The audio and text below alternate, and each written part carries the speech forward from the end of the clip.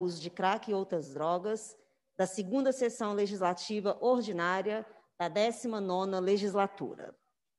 Eu vou pedir para que possamos suspender os trabalhos por alguns minutos para terminarmos de acertar aqui é, o funcionamento da nossa audiência. Aprovada e a subscreve.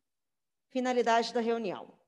Esta reunião se destina a apreciar a matéria constante na pauta e a receber, discutir e votar proposições da comissão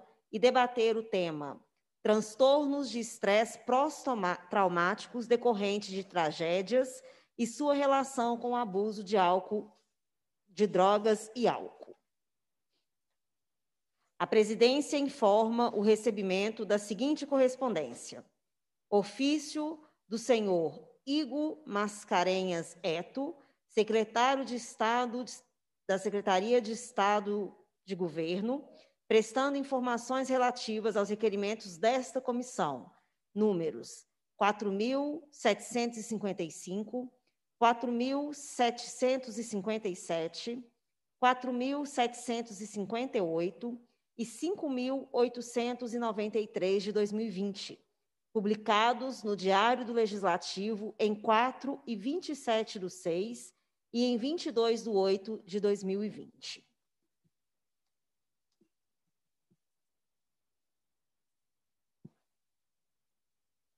Passa-se à primeira fase da terceira parte da reunião, que compreende esta audiência pública que tem a finalidade de debater o tema trans transtornos de estresse pós-traumático decorrente de tragédias e sua relação com o abuso de álcool, de drogas e álcool. A presidência, tendo em vista a legislação em vigor e especialmente a emenda à Constituição Federal número 107 de 2020, recomenda aos convidados e participantes de reuniões e eventos de qualquer natureza promovidos por esta casa que evitem em seus pronunciamentos a abordagem de temas eleitorais ou que caracterizem pedidos de voto. A presidência registra a presença dos seguintes convidados: Michele Halil da Costa, ela é assessora do Centro de Referência Estadual em Álcool e Outras Drogas, o CREAD, da SEDESE. Está representando nessa audiência a Soraya Romina dos Santos, subsecretária da, da Subsecretaria de Política sobre Drogas da Secretaria de Estado de Desenvolvimento Social, a SUPOD.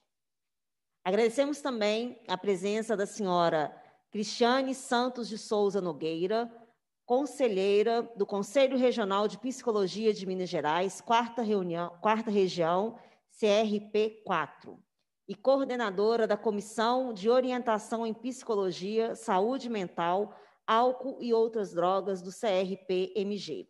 Representando nesta audiência a senhora Lourdes Aparecida Machado, presidente do Conselho Regional de Psicologia de Minas Gerais.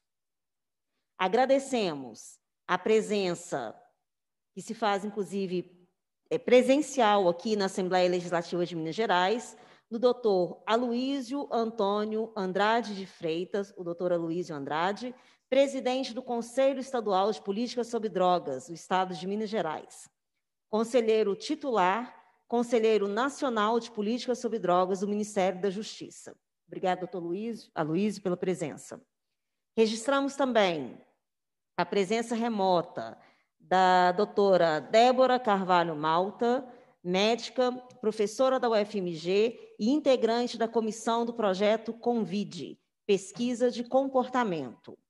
E registramos também a presença do professor Rony Las Casas, professor da Faculdade Única de Contagem. É, a exceção do doutor Aloísio Andrade, todos os nossos convidados farão suas apresentações e acompanharão a nossa audiência de forma remota.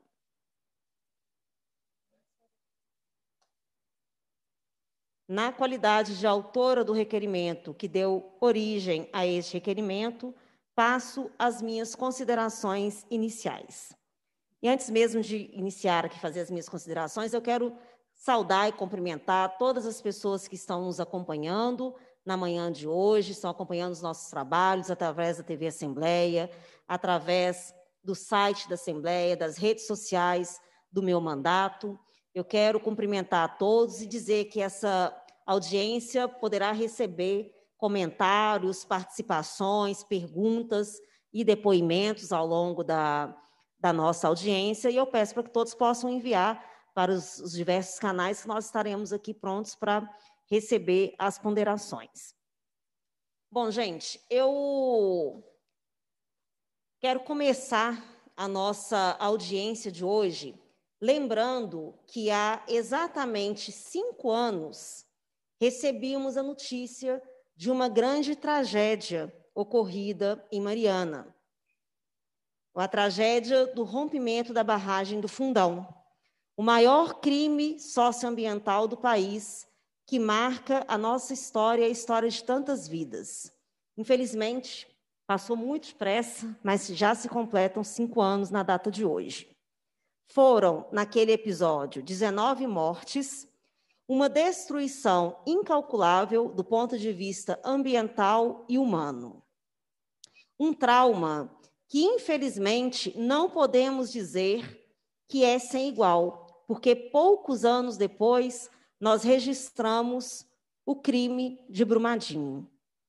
Mas, para além de me solidarizar com as vítimas desses, desses dois crimes ambientais e a luta das famílias e dos amigos de todas as comunidades afetadas pelo rompimento de barragem, eu quero aqui lembrar que foi um trauma com reflexos sérios na saúde física e mental é, e em tantos sentidos na vida dessas famílias.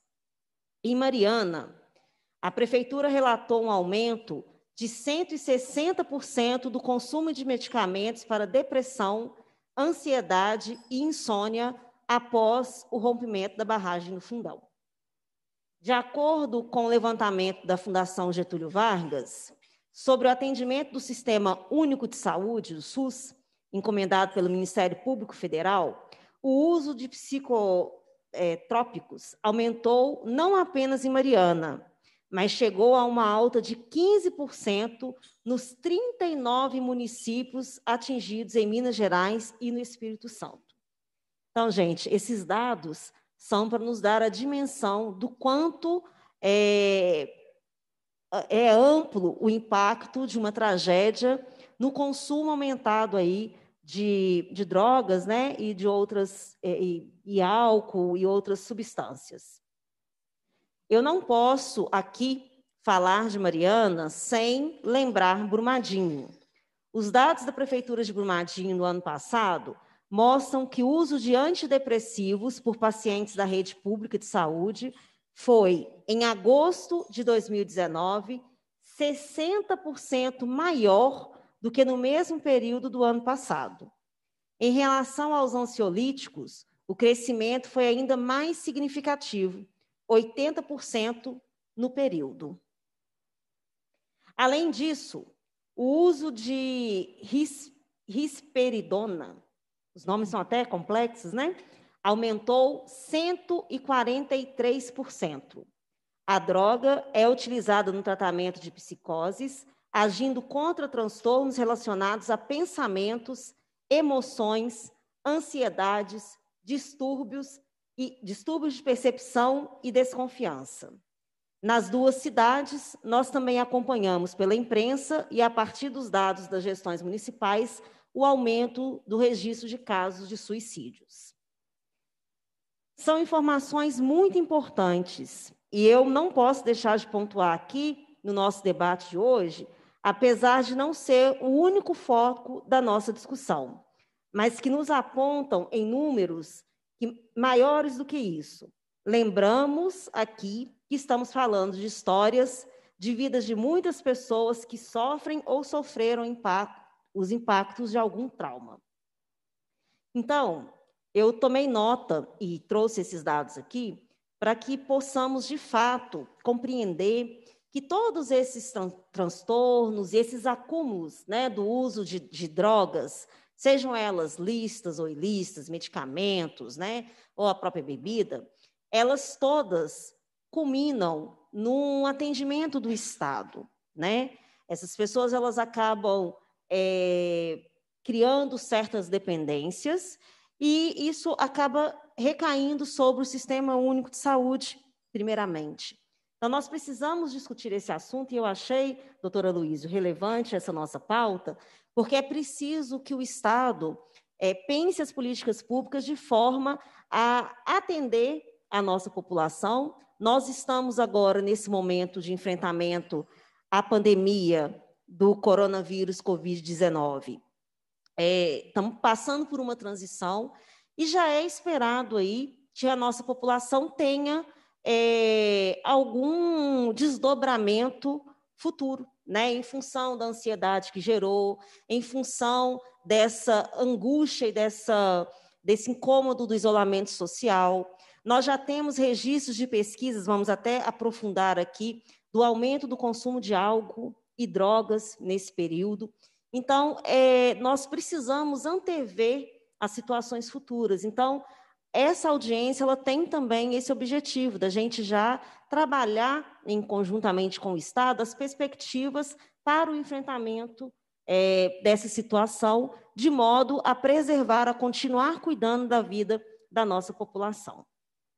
Antes de passarmos a palavra para os nossos convidados, eu quero propor e pedir aqui a todos os presentes, a todos que nos acompanham, um minuto de silêncio é, em menção a todas as vítimas dessas tragédias que foram trazidas hoje aqui. Foram 19 vítimas que perderam a vida em Mariana, 272 em Brumadinho, 11 ainda não foram localizados e mais de 160 mil mortes pelo Covid-19.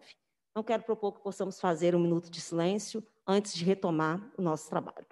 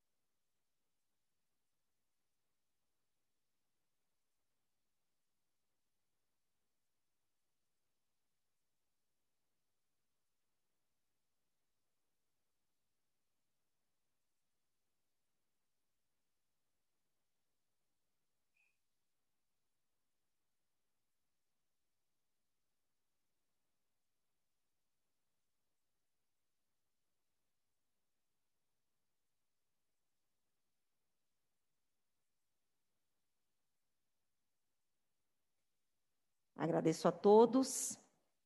E nós já sabemos né, que esse é um momento muito delicado, é um momento também muito recente de todas essas tragédias, especialmente com impactos aqui em Minas Gerais.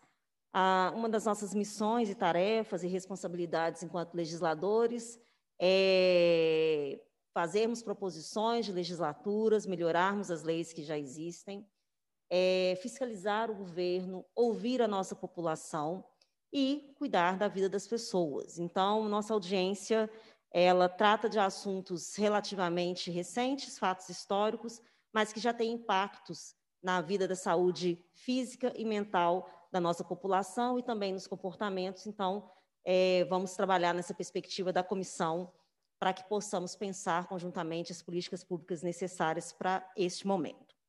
Para iniciar o nosso debate, eu vou convidar a doutora Débora Carvalho, Débora Carvalho Malta.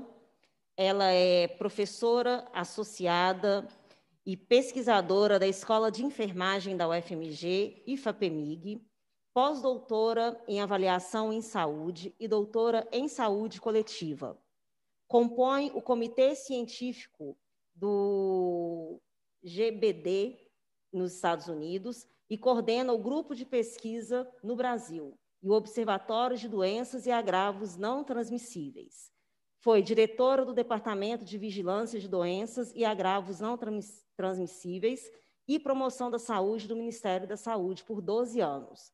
coordenando os inquéritos nacionais, Pesquisa Nacional de Saúde do Escolar, Vigitel, Pesquisa Nacional de Saúde de 2013, e Vigilância de Acidentes e Violências do Plano DCNT do Brasil em 2011 e 2022.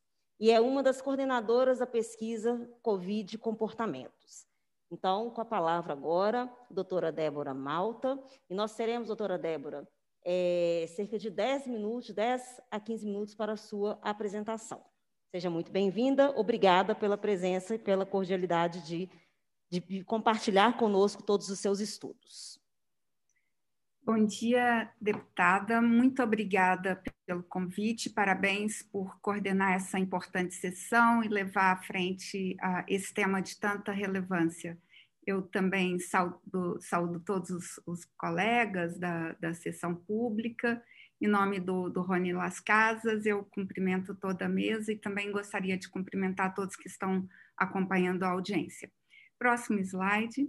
Bom, então eu estarei apresentando os resultados de uma pesquisa que fizemos bem recentemente durante a, a, pandemia. Vou falar brevemente sobre o uso do álcool e seus malefícios. Depois vou apresentar a metodologia, os resultados da pesquisa e também tomei a liberdade de apresentar outros resultados de outras pesquisas que falam sobre o tema do álcool. Procurarei ser muito breve para que possamos ter tempo para a discussão. Próximo. Bem, uh, o álcool, uh, ele é muito comum na nossa cultura e muitas vezes também até incentivado, é, sempre associado com festividades, com celebrações, com cerimônias. Uh, no, no entanto, 45% da população adulta nunca consumiu álcool é, e muitas vezes ah, os malefícios do álcool eles não são claramente divulgados. Próximo, é, nós temos então, segundo a Organização Mundial da Saúde, é, o álcool ele pode levar até 2,5 milhões de mortes ah, anuais e também ele tem um impacto grande sobre o PIB nos, nos diferentes países, podendo afetar entre meio a 2,7% do PIB. É, ou seja, é, nós temos ah, grandes malefícios, eu destacaria aqui a, as mortes entre jovens 15 a 29 anos, nós teríamos até 320 mil mortes anuais. Próximo. Nós temos ah, também ah, várias formas de consumo de álcool, desde o consumo crônico, é, que levaria à dependência, doenças mentais, doenças hepáticas, cardiovasculares, neoplasias, mas também uso episódico, né? Então, onde você toma uma única vez, não, não, está, não estando associado à dependência, mas esse uso episódico ele também pode levar é, a problemas como violências, agressões, né, homicídios, suicídios, acidentes de transporte, acidentes de trabalho, dentre outros malefícios. Próximo. Por isso é muito importante que nós ah, possamos ter cada vez mais pesquisas que monitorem o efeito do álcool né, e, e seus é, a, os efeitos sobre a, a saúde pública. É, e o consumo do álcool, uma vez absorvido, ele ah, realmente ele, ele se dissemina por todas as partes do corpo, promovendo inicialmente um estado de euforia e desinibição, mas ele também, numa segunda fase, pode levar a uma depressão do sistema nervoso e uma alteração dos reflexos, né? Por isso, beber e dirigir não combina, né? e toda a nossa legislação, ela promove, então, alcoolemia zero. Próximo. Nós uh, verificamos, então, nessa pesquisa, que é uma parceria que envolve a Fiocruz, a Universidade Federal de Minas Gerais e a Universidade Estadual de Campinas, o nosso objetivo era verificar como a pandemia do Covid-19 afetou a vida dos brasileiros, seus comportamentos é, e outras alterações no estado de saúde. A pesquisa ela foi conduzida, então, entre 24 de abril a 24 de maio desse ano próximo.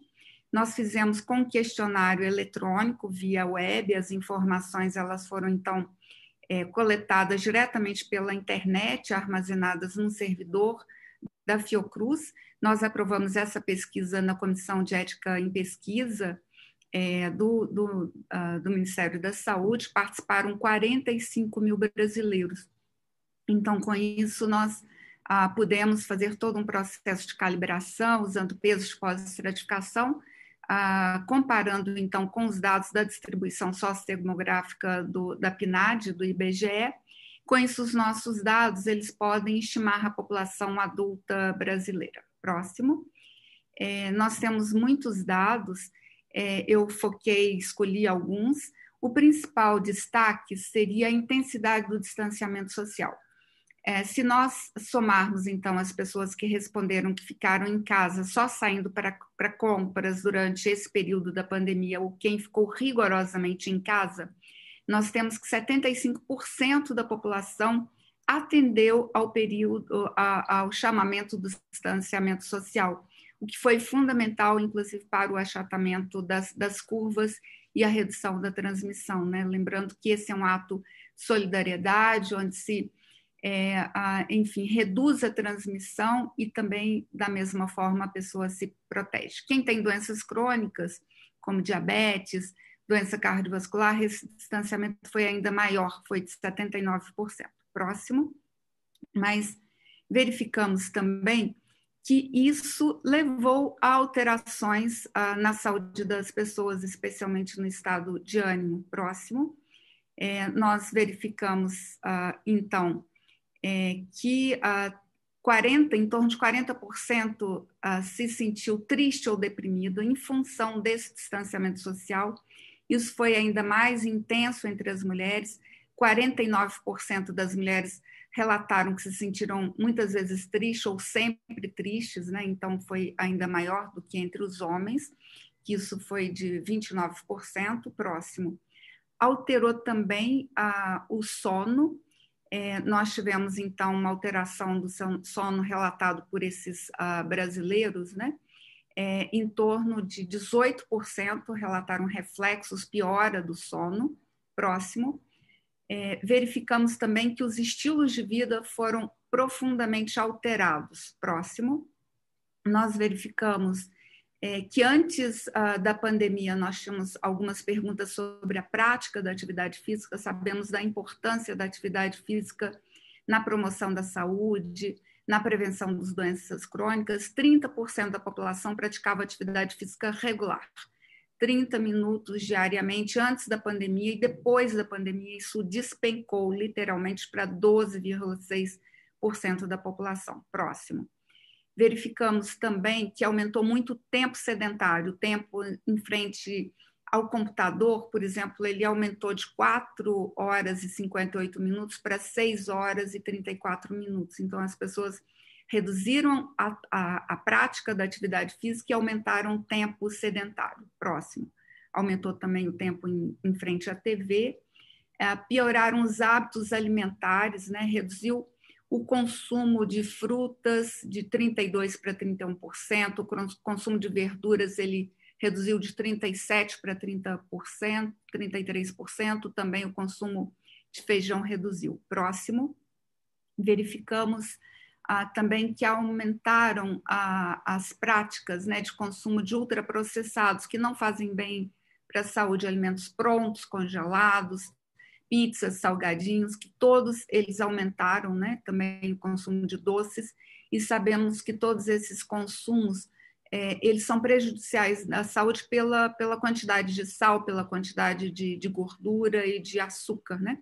mas também pela praticidade, verificamos que isso foi altamente consumido durante o período de pandemia e distanciamento social. Próximo.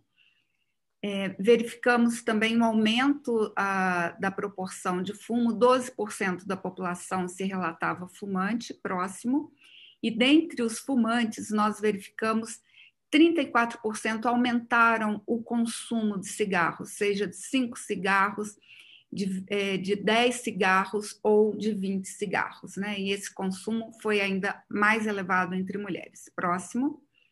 É, e em relação ao álcool, nós verificamos que houve um aumento de 18% no consumo de álcool durante a pandemia. Foi mais elevado, é, discretamente mais elevado entre homens, próximo. Verificamos ah, que também, a, a, em relação à faixa etária, adultos jovens de 30 a 39 anos tiveram um consumo ainda mais elevado de álcool durante a pandemia, de 25% foi esse aumento do consumo de álcool. Próximo. É, aqui, em relação à, distribuição sociodemográfica, né, nós verificamos que, ah, quando ah, analisamos por, por escolaridade, por renda, o consumo ele foi ainda maior na população com ensino ah, superior completo, ele foi de 26%, e foi a metade na população com baixa escolaridade. Esses resultados já tão, estão publicados né, em artigos científicos e também no site da Fiocruz e no site da UFMG. Próximo. É, um outro, ah, também, ah, é uma outra variável interessante, que nós, quando ah cruzamos o consumo de bebidas alcoólicas com ah, o sentimento de tristeza, nós verificamos que quanto mais as pessoas se sentiam tristes, né, é, maior era esse consumo, né? Então, é, quem se sentia triste muitas vezes, o consumo, o aumento do consumo foi de 22%, e quem se sentia sempre triste, esse consumo aumentou em 24,4%. Próximo.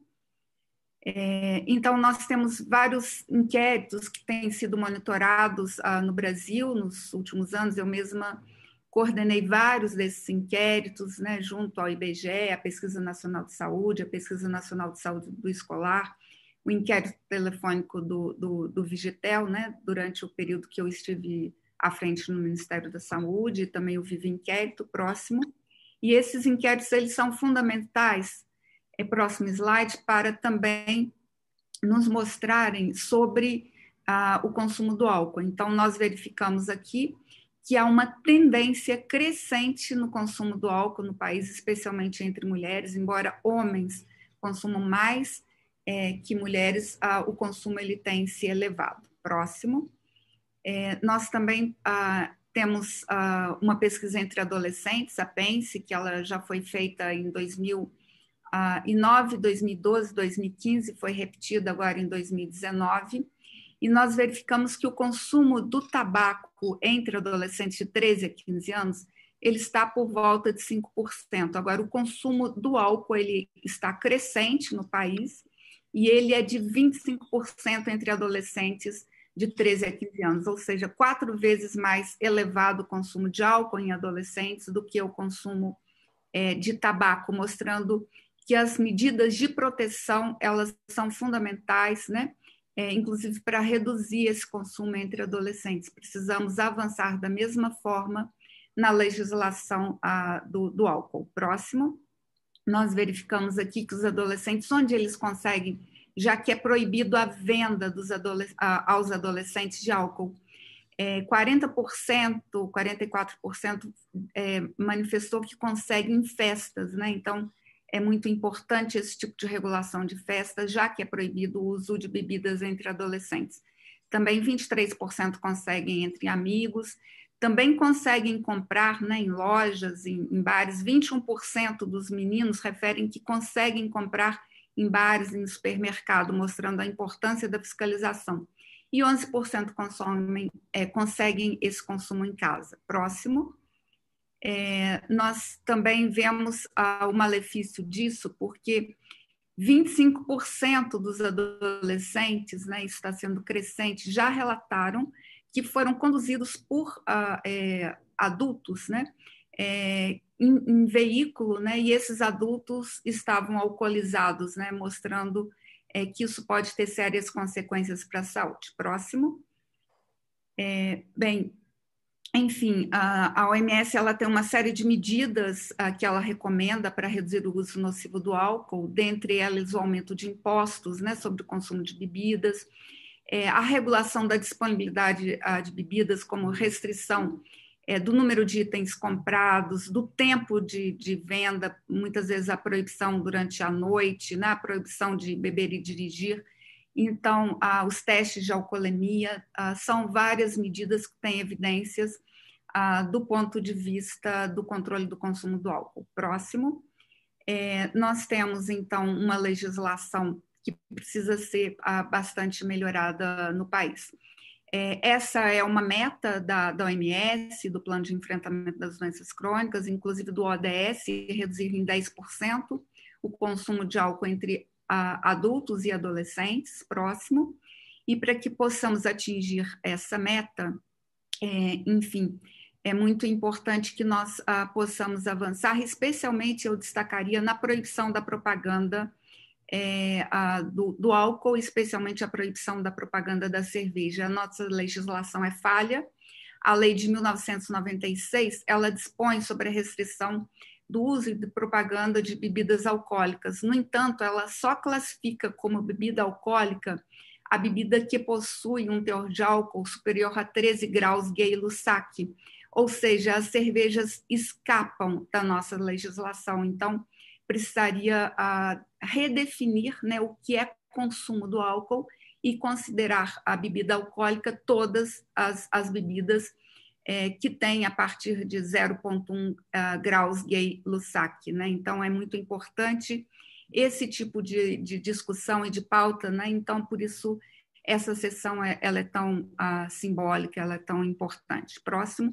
Então, para concluir, aqui eu gostaria de destacar que a pandemia, é, enfim, é muito importante a medida de adesão da população a medidas benéficas, como distanciamento social, uso da máscara. É, mas, enfim, nós também verificamos que tivemos um efeito colateral na, na medida da, do distanciamento social, é, no sentido da, da piora da, da, saúde, né? no, no, no sentido de, é, de piora nos estilos de vida, aumento do consumo do tabaco, do álcool, é, piora no, no, na, na, redução da atividade física, no, no, aumento do sedentarismo e no consumo de alimentos ultraprocessados. Então, nós temos que verificar até para que ah, isso resulte né, em, em melhoria é, no acolhimento dessas pessoas, seja no NASF, na saúde mental, nos aconselhamentos específicos na atenção primária. Né? Então, mensagens educativas são muito, muito, muito úteis né? e devem ser desencadeadas para toda a população. É, e, enfim, eu acho que é muito importante também a questão do controle do álcool, a mudança da lei, né? e, sem dúvida, é, várias medidas podem ser ah, desencadeadas né? no sentido da, da proteção da população. É, muito obrigada pela oportunidade e um bom dia a todos. E eu fico à disposição depois para perguntas. E ainda estamos também pesquisando entre adolescentes. É, eu gostaria de divulgar o nosso link, convidefiocruz.br. Temos uma pesquisa semelhante entre adolescentes que vocês podem é, divulgar e os adolescentes podem participar e os pais estimular a, a sua participação. Muito obrigada, deputada. Doutora Débora, nós agradecemos imensamente a sua participação, é, a apresentação aqui dessa pesquisa, que é uma pesquisa tão profunda, e que foi uma das minhas motivações de levantar esse debate aqui durante a pandemia, de fazer proposições, inclusive, é, de ações do governo para esse momento de enfrentamento da pandemia, e que é um debate que eu insistentemente faço aqui na Assembleia Legislativa, não só por via dessa nossa comissão, da qual eu sou vice-presidente, mas porque eu acredito muito que nós precisamos voltar o olhar para a, as práticas preventivas para que a nossa população consiga é, cuidar bem da sua saúde, do seu bem-estar. Essa pesquisa, doutora, nos traz aqui né, várias percepções, e quero destacar aqui é, o quão é, nós identificamos, através da pesquisa, que as mulheres estão ficando cada vez mais vulneráveis também nessa perspectiva do aumento do consumo de álcool e outras drogas, como que esses índices impactam na vida dessas mulheres. É, temos aqui o destaque da questão do, do impacto no estado de ânimo da nossa população, do sono, né? Muitas vezes nós não prestamos atenção, mas o sono ele é um fator que mede qualidade de vida, né? É, o estilo de vida, as práticas de atividade física, por exemplo, olha como elas despencaram nesse período, isso certamente vai ter impacto, e o consumo do fumo e do álcool. como também coordenadora da Frente Parlamentar em Defesa dos Direitos da Criança e do Adolescente. Eu não posso deixar de registrar aqui, doutora Débora, quero acesso a esse link, vamos trabalhar nele, é, divulgando e pedindo aos adolescentes e jovens para que possam preencher, para que possam nos ajudar nessa pesquisa, e também destacar como a ciência e a tecnologia é importante para nos subsidiar, inclusive para fins de elaboração de legislação e de proposituras de políticas públicas. Então, temos que investir também ainda muito em ciência e tecnologia para garantir a melhor aplicação dos nossos recursos públicos. Né? Essa é uma pauta que a gente também é, debate muito, especialmente na Comissão de Educação.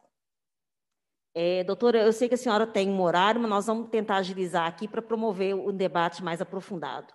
Antes de passar a palavra ao nosso próximo é, expositor, que é o doutor Aloysio Andrade, eu quero registrar aqui algumas presenças com comentários através das redes sociais. É, a Epton que é uma instituição de Ipatinga, parabenizando pela iniciativa, assunto muito atual e necessita urgente de ações efetivas. Vou registrar também a presença online do Sérgio Lima. Bom dia, aqui é o Sérgio da Associação Humanizando a Saúde de Teófilo Otoni, Minas Gerais. Também registrar aqui a Tatiana Belônia. Ela diz o seguinte: muito triste as pessoas estão ficando cada vez mais adoecidas e recorrendo às drogas como solução. É preciso adotar políticas mais efetivas para o combate ao abuso de álcool e outras drogas. Registrar aqui também um comentário da Michele Xavier. Estes dados citados, Ana, infelizmente, são dados alarmantes e necessita que o Estado dê uma importância na atenção primária que essas pessoas sejam encaminhadas para um trabalho cultural, ajudando e dando ênfase para uma maior valorização da cultura, que é diversa no nosso estado e que certamente poderá ajudar muito esses pacientes, principalmente não atenuando o uso de medicamentos controlados e drogas listas e ilícitas. Obrigada, Michele, pela ponderação. Vou ler aqui mais uma do Mário Carvalho. O Mário é da comunidade terapêutica Amar, de Itamarandiba. Cumprimento a todos, em especial a deputada Ana Paula e o doutor Aloísio. E vou citar mais, mais dois comentários da Vera Antunes, a Vera é, do município de Timóteo. Deputada, meu cumprimento pela sensibilidade do enfrentamento de questões tão relevantes para é, nós, para a nossa população. E também registrar aqui o doutor Antônio Coquito. Bom dia, deputada Ana Paula Siqueira. Bom dia a todas e todos. Sou Antônio Coquito, jornalista, assessor do Conselho Regional de Psicologia de Minas Gerais. Estamos à disposição. E nós contamos muito, viu, é, Antônio Coquito, porque a participação do CRP é extremamente importante nessa pauta. Temos mais comentários, as pessoas que quiserem encaminhar podem continuar encaminhando, nós vamos fazendo a leitura no decorrer da nossa audiência. E agora eu passo a palavra ao nosso próximo convidado, doutora Luísa Antônio de Andrade Freitas, é, que possui graduação em Medicina pela Universidade Federal de Minas Gerais, atualmente é médico do Instituto de Previdência dos Servidores do Estado de Minas Gerais, presidente do Conselho Estadual de Política estadual da Polícia sobre Militar, drogas. É, de Polícia uhum. sobre Drogas, conselheiro do Conselho Estadual de Política sobre Drogas de Minas Gerais, a qual eu também sou conselheira, né, doutora Luísio? Isso mesmo. É, conselheiro também do Conselho Nacional de Política sobre Drogas e coordenador geral do Fórum Nacional de Política sobre Drogas. Tem experiência na área de medicina com ênfase em psiquiatria. Doutora Luísio, com o senhor a palavra. Muito obrigado, deputada Ana Paula Siqueira. Cumprimento a todos os que estão participando da audiência pública e dizer aqui que eu hoje estou completando oito meses de ausência aos eventos coletivos, então estou retomando com todos os cuidados, obviamente, todo respeito às regras básicas, porque se há algo que sabemos sobre a questão do vírus, da Covid, é que cuidados como máscara, como a não permanência em ambientes fechados com muita gente, e os cuidados para ventilação dos ambientes faz uma diferença muito grande enquanto não temos a vacina, enquanto não temos ainda o tratamento específico para o vírus. Nós temos os tratamentos sintomáticos, que são, então, em função dos sintomas que surgem, mas para o vírus mesmo, um antiviral, a gente ainda não tem. É, eu quero esclarecer a quem está nos acompanhando que o termo estresse pós-traumático é um termo psiquiátrico que diz respeito a um evento que causa um sofrimento psíquico, emocional e físico na pessoa e que ele fica marcado. Então, quando se fala em estresse pós-traumático, é como se a pessoa tivesse, vamos dizer, tomado um susto, o fator causador do susto deixa de existir, mas a pessoa continua assustada. Então, é um desdobramento de um fato, de um evento negativo, de sofrimento, e que a pessoa continua com aquela marca, com aquela cicatriz. E, obviamente, que nós temos que lembrar que existem dois tipos de, de tragédias: as tragédias pessoais e as tragédias coletivas. E no caso das tragédias coletivas, é, grandes acidentes, como terremotos, como epidemias e etc., é, no inconsciente coletivo é, fica um, um, tipo de pano de fundo, fica um tipo de, de clima no, no conjunto do, do espaço que faz traz consequências para cada um dos indivíduos que ali permanece. O grande desafio da mente, deputada Ana Paula, é que nós temos a parte consciente que a gente pensa e sabe que está pensando. Mas temos a parte inconsciente que a gente pensa e não sabe que está pensando. São então as regiões mais ocultas do cérebro. E nesse inconsciente temos um inconsciente pessoal e um inconsciente coletivo.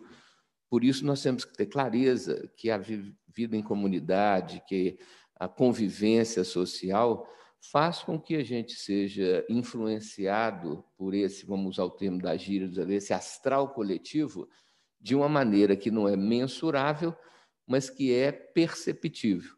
Não dá para medir, mas dá para sentir, não é? Então, o que nós temos visto é uma situação eh, de excepcionalidade, porque, na verdade, deputada, a humanidade sempre passou por momentos de desafio, fossem desafios climáticos, pelo excesso de frio, pela falta de chuvas ou pelo excesso de chuvas, pelos terremotos, etc. As epidemias também acompanham a humanidade desde que a humanidade se tornou humanidade com a aquisição é, do domínio da agricultura, do domínio é, da fala e da escrita e do fogo, não é? Mas o que, que acontece? Nós nunca tivemos uma consciência, é, um volume de noção e de informação tão grande feito está acontecendo com o Covid. Então, desde o mês de março, quando todo mundo percebeu que a situação era mais grave do que um, um simples surto de gripe, desde então, todos os valores, todos os, os parâmetros que nós tínhamos passaram a ser é, reavaliados, passaram a ser questionados. E é óbvio que quando existe essa ameaça, essa consciência da ameaça ao coletivo, um instinto, deputado, aqui, é, eu acredito que nunca tenha sido tão, vamos dizer assim, manifestado, tão exacerbado, que é o instinto da preservação da espécie. Por quê?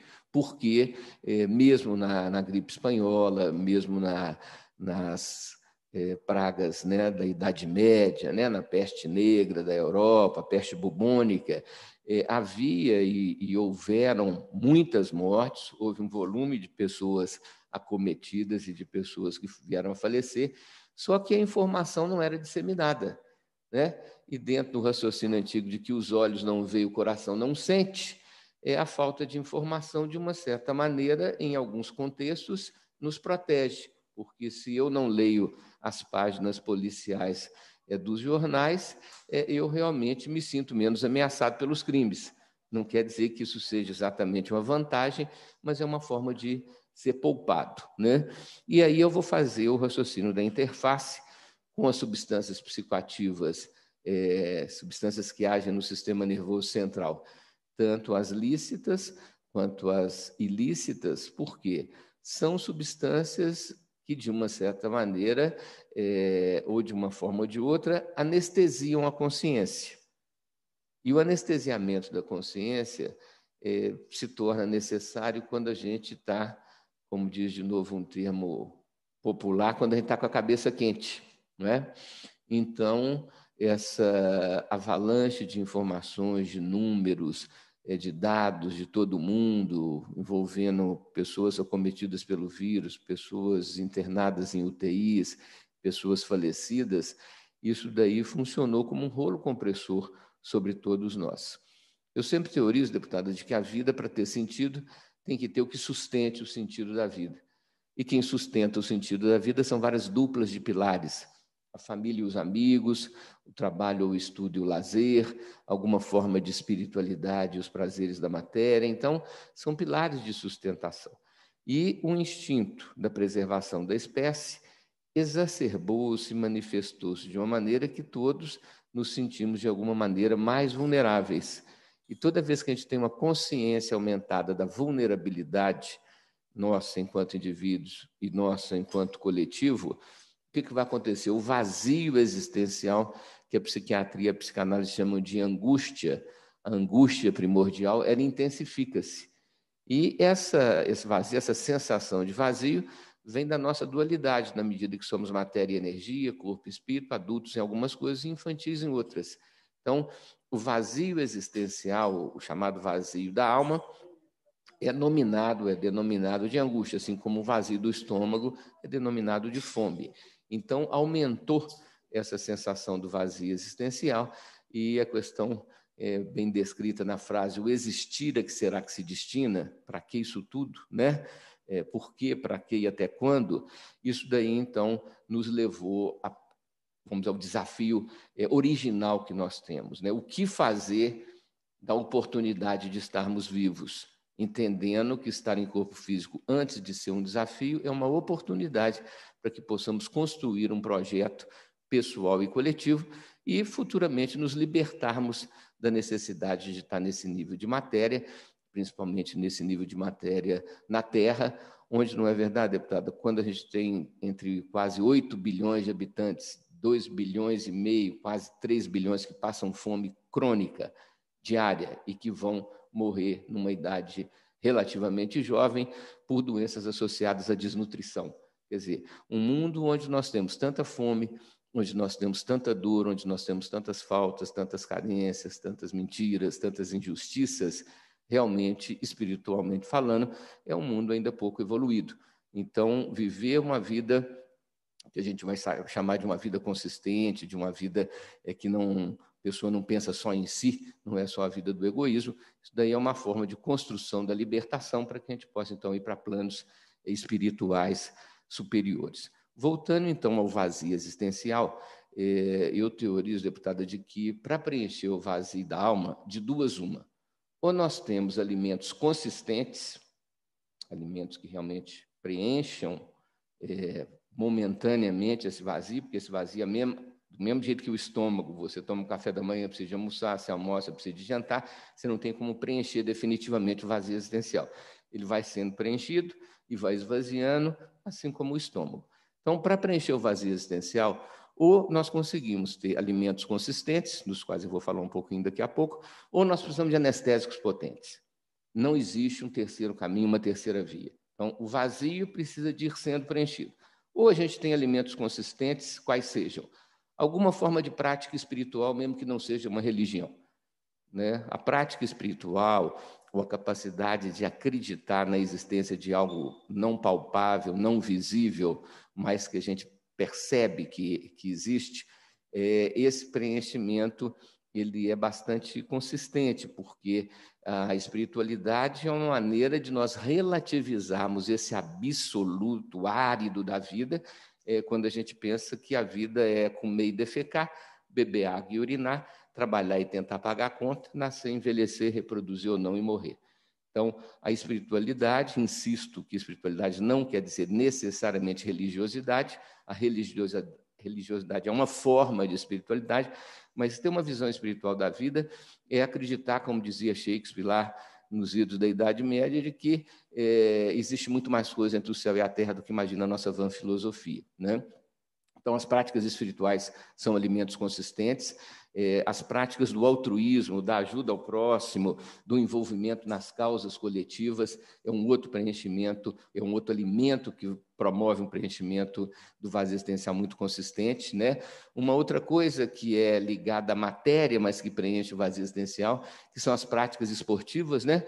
A professora Débora acabou de citar aí a questão do número de horas, que o número de pessoas que fazia e deixou de fazer agora na pandemia. Então, a atividade física é fundamentalmente importante para que a nossa química corporal, inclusive a química cerebral, estejam mais satisfatória.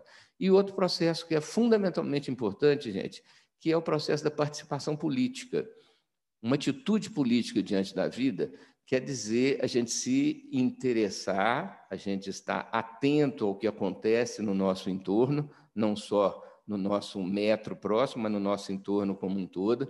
Então, atitude política envolve assim, a gente ter noção do nosso entorno e ter a intenção de participar da melhora desse coletivo, desse conjunto, tanto para mim, enquanto indivíduo, quanto para os meus familiares e amigos, quanto para o todo. Né? A gente até costuma dizer, até para os meus inimigos serem bem felizes, bem longe de mim, tá certo, deputado?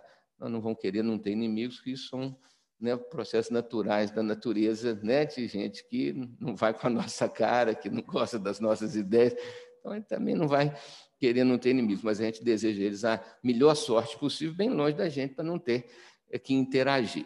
Então, atitude política não quer dizer que você tenha que ser filiado a partido, nem que tenha que ser candidato, né? Se for filiado, ótimo. Se for candidato, excelente. Se tiver mandato, melhor ainda. Mas uma atitude política diante da vida é um posicionamento da gente se interessar pelo entorno e da gente querer contribuir para melhor. Então, esses cinco elementos aí, é, eles são complementados por um que eu vou fechar o raciocínio, que são as práticas artísticas, né? A pintura, o desenho, o teatro, os instrumentos musicais, o canto. Nós precisamos, gente, de dar sentido para a nossa vida com esses alimentos mais consistentes. Senão a gente vai precisar ou de beber, ou de fumar, ou de tomar calmante, ou de tomar antidepressivo, né? Como diz Guimarães Rosa, ele tem duas frases sobre a vida que são muito acrescentantes. Numa ele fala assim: travessia perigosa, mas é a da vida. Ponto. O que isso quer dizer? Você atravessa uma rua prestando atenção 20 vezes, beleza. Uma vez que você não presta atenção, você é atropelado. Isso é injusto, isso daí é, é, matematicamente do mal, porque se eu fiz 20 vezes certa, uma que eu faço não certo, eu me dou mal. Eu falei assim, olha, travessia perigosa, mas é a da vida. Ou seja, a vida tem questões que estão postas, não adianta a gente ficar questionando e achando que não devia ter fome, que não devia ter é, doença, que não devia ter dor, porque tem. Então, né? E a segunda frase que ele fala, a vida, vírgula, só é possível, vírgula, reinventada, ponto. A reinvenção da vida, gente, quer dizer justamente isso. Eu forçar a barra, se eu não tenho isso espontaneamente, deputado, se eu não tenho isso com facilidade, eu tenho que me esforçar, eu tenho que batalhar para conseguir dar sentido para a minha vida para que eu não viva a minha vida de uma forma burocrática, administrativa, de levantar, tomar o café da manhã, sair, trabalhar, voltar. Então, um dos pontos importantes, né, dentro da teoria do Amales que vem para bem, é que eh, essa questão do distanciamento, do afastamento social, está eh, trazendo para nós, está trazendo para todos nós, eh, uma valorização do outro, uma valorização do encontro, valorização é, da existência do outro como sendo um dos pilares de sentido para a minha vida, não é? Para nossas vidas, né? Então, a esperança nossa é de que agora até o final do ano as coisas estabilizem, que o volume de contaminações e de mortes diminua, que a possibilidade da vacina e de tratamentos diretamente é, voltados para o vírus, não só para os sintomas do vírus, possa trazer uma sociedade com valores é, com pilares mais consistentes, não é? Mas nesse momento, o volume de anestesiamento necessário é fato. Não vamos ser ingênuos, não vamos ser é, precários no raciocínio de assim, puxa, mas não entendo porque que a pessoa fica bebendo. Assim, fica bebendo para anestesiar, gente. Fica bebendo para não, não, não ter que, que ter tanta consciência, né? Porque a consciência é a noção de tudo.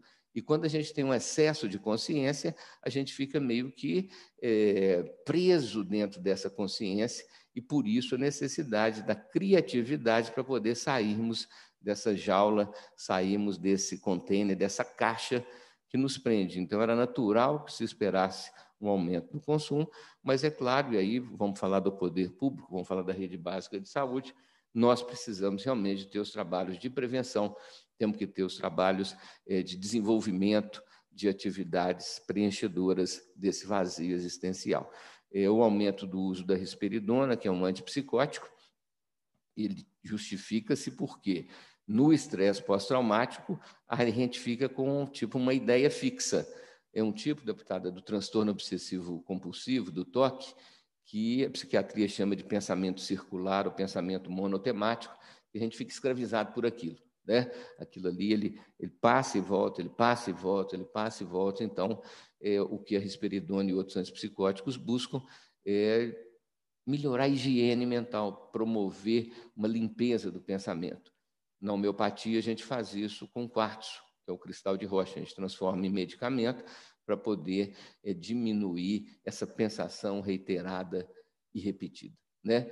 Então, parabenizando as várias audiências públicas que a Comissão do Prevenção ao Crack e Outras Drogas já promoveu, ao empenho da senhora enquanto deputada, enquanto é, líder social, líder comunitária, né, de longa data, eu quero dizer que o Covid está trazendo para nós a consciência de que realmente o mundo é um e que algo mal feito lá do outro lado pode nos atingir, atingir mais cedo ou mais tarde, mais rápido ou mais lentamente, mas que nós temos que ter essa consciência que não dá para a gente pensar só no nosso quadrado, não dá para pensar só na nossa caixa. E eu vou lembrar aqui, para terminar, um lema que foi é, da ECO 92, 1992, no Rio de Janeiro, onde o título é, dos trabalhos finais foi Pensar globalmente, agir localmente. Penso que é isso que a gente tem que fazer, pensar no todo e fazer a nossa parte, fazer o que a gente dá conta da melhor maneira possível, nunca buscando a perfeição, mas o melhor de si nunca se comparando com os outros, mas sim consigo mesmo. Né? E a partir disso, a partir do, da coerência e do esforço, a partir da consciência e do livre-arbítrio, a partir da noção e da intenção, construirmos o nosso amor próprio, construirmos a nossa autoestima, porque é através desse sentimento da coerência e do esforço, do alinhamento com os princípios nos quais eu fui treinado, dos valores éticos, morais, espirituais, dos valores de esforço, e dos valores de razoabilidade que nós podemos ter, é, ir tendo o preenchimento do vazio existencial e daí precisar de menos remédio, de menos bebida, de menos drogas em geral. Muito obrigado, deputada. Obrigada, doutora Luísio. Agradeço imensamente a disponibilidade, inclusive como o senhor próprio registrou aqui, respeitou até o momento o isolamento social, não participando de atividades coletivas e hoje nos dá aqui a graça da presença pessoal nessa, nessa casa legislativa que é tão importante para fazermos esses debates. E a doutora Luísa, ele sempre traz aqui visões é, elaboradas, né, e, e, nos trazendo a responsabilidade dessa nossa convivência coletiva, e quando ele elenca esses cinco pontos aqui do, dos eixos, né, vamos assim dizer, de preenchimento do vazio existencial, é, para mim é muito válido, né? Eu também trabalho nessa perspectiva de buscar sempre preencher esses vazios, mas ele traz aspectos que são sim políticas públicas e que nós não podemos abrir mão de trabalhar, de sugerir ao governo, de cobrar e de fiscalizar. A questão cultural, né, já tinha sido trazida por uma dos nossos participantes aqui de forma remota como uma forma de colaborar para a superação dessas dificuldades. Apresenta também a questão das práticas esportivas, outra política pública importante que, infelizmente, no Brasil recebe pouquíssimo investimento, né? As práticas esportivas, nós vamos até ter a oportunidade de conversar com o professor Rony um pouquinho mais sobre a questão das práticas, da importância das práticas esportivas, e, é, é, além de todas as outras, ele traz também aqui o aspecto das causas coletivas, a importância né, do altruísmo, e chamou atenção de forma brilhante e muito oportuna, inclusive, para esse momento da nossa sociedade brasileira, o momento né, das eleições, que é a participação política, uma atitude política. E nós precisamos que a nossa sociedade também se envolva nessa discussão, nesse debate, que traga, consiga desenvolver esse espírito dessa atitude política, porque é ela que melhora a nossa sociedade. Então, doutora Luísio, muito obrigada por essa primeira intervenção. Nós já estamos recebendo aqui, inclusive, algumas perguntas direcionadas diretamente ao senhor, que eu vou fazer no segundo momento aqui, quando abrirmos para o nosso debate. É, vou convidar aqui mais uma das nossas debatedoras, agora a doutora Cristiane Santos de Souza Nogueira. A doutora Cristiane possui graduação em psicologia pela Universidade Federal do Estado de Minas Gerais. É pós-graduada em psicanálise e direito pelo Centro Universitário Newton Paiva, em assistência aos usuários de álcool e outras drogas pela FEMIG. É em formação integrada multiprofissional em educação permanente em saúde pela UFRGS, Universidade do Rio Grande do Sul e mestranda em psicologia pela Pontifícia Universidade Católica de Minas Gerais, inclusive instituição que eu também fiz a minha graduação em serviço social. Tem experiência na área de psicologia, com ênfase em psicologia jurídica, saúde coletiva e saúde mental e processos de subjetivação e experiência como docente universitária. Possui experiência na gestão de serviços de atenção psicossocial, atuando principalmente nos seguintes temas: saúde coletiva e saúde mental, sistema prisional e sistema socioeducativo, assistência a usuários de álcool e outras drogas, e atenção a portadores de sofrimento mental em cumprimento de medida de segurança. Doutora Cristiane, a palavra está com a senhora. É, bom dia a todas e todos, né? É, queria agradecer pelo convite ao CRP mais uma vez, né, para nós essa parceria, né, é, contínua, ela é fundamental é, para que a psicologia realmente possa participar, né, da construção e efetivação das políticas públicas é, no Estado de Minas Gerais. É, eu acredito que algumas coisas né, que eu tinha preparado é, já foram ditas, então eu vou ser mais breve né, na minha explanação e tentar sublinhar e ressaltar né, assim, aquele, aqueles aspectos que eu acho que, é, que, que, possam ser é, diferenciais aí e somar as falas dos colegas, tá? É, pensando então no título né, da, da audiência pública, é, pode passar. Eu pensei, né, da gente. Pode passar? Da gente falar, né, é, conceituar brevemente, né, os três conceitos ou aspectos que estão aí alinhavados na proposta da discussão, né, é, e tentar então fazer uma amarração através das interseções que possam é, nos ser norteadoras na, na proposição de ações no estado de Minas. Pode passar. Então, como já foi colocado né, pelo doutor Luísio, é, quando a gente está falando de transtorno do estresse pós-traumático, a gente vai encontrar também a palavra estado, né, ou síndrome do estresse pós-traumático. É reconhecido pela classificação internacional de doenças, né, a CID-10, é, enquanto um conjunto né, de sinais ou de sintomas, de eventos, de fenômenos psíquicos, afetivos, que vão acontecer em um estado clínico, né? Então, muitas vezes, é, sinais e sintomas, eles são semelhantes em, em diversos estados clínicos. Então, pode passar. O que, que é que vai diferenciar é, esse, esse transtorno que a gente está é, se debruçando sobre ele hoje, né? Então, o transtorno de estresse pós-traumático, ele vai se caracterizar como reações disfuncionais intensas e desagradáveis é, após né, a vivência de um evento extremamente traumático.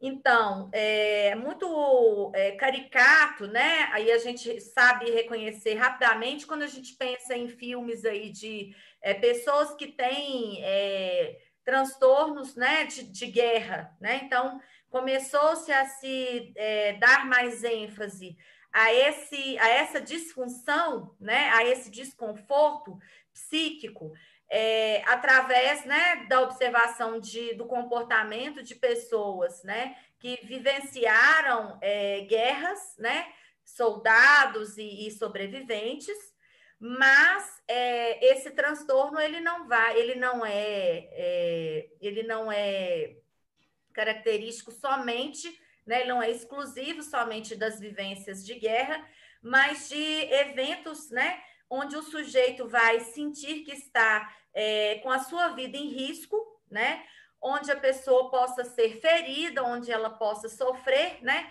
violências que vão lhe causar é, extremamente angústia, conforme o doutor Luiz já colocou, né? E vivências de angústia e de longa duração.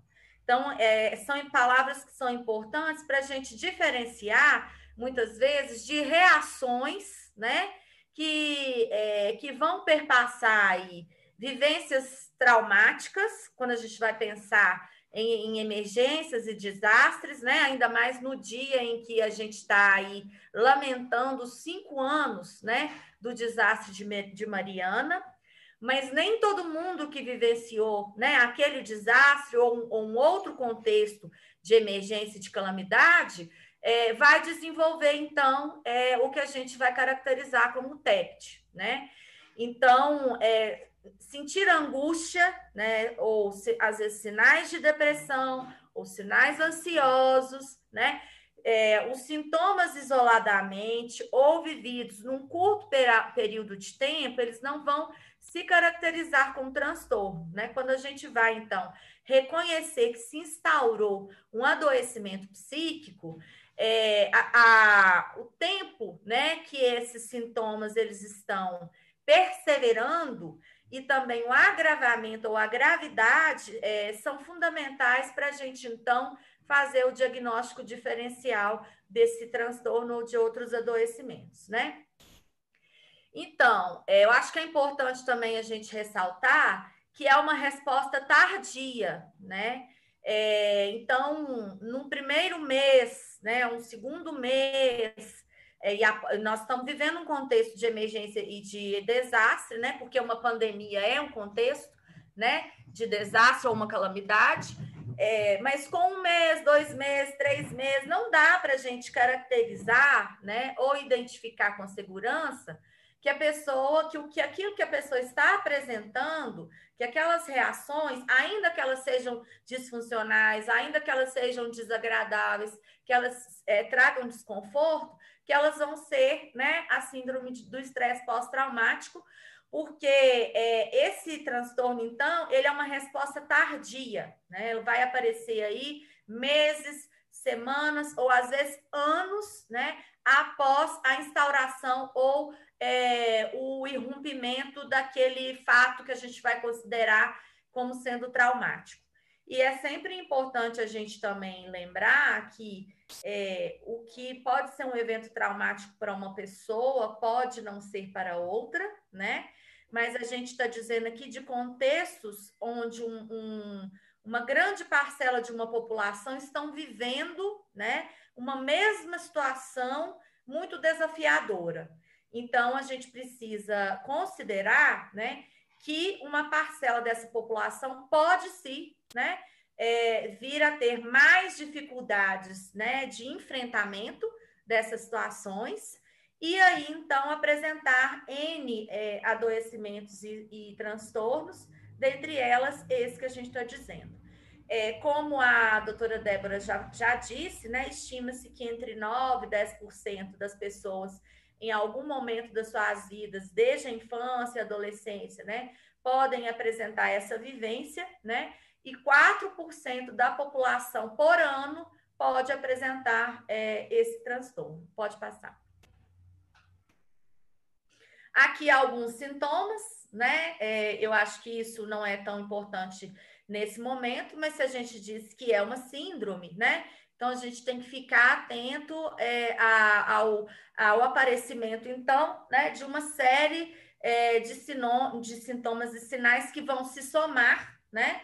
É, então, pensamentos intrusivos, né, que vêm é, mesmo que o sujeito é, tente né, não pensar em determinadas coisas, né? Muitas vezes esses pensamentos intrusivos eles vão remeter a lembranças dos eventos traumáticos que foram é, vividos, né, de forma persistente. Os distúrbios do sono, né, principalmente pesadelos e insônia, são muito comuns.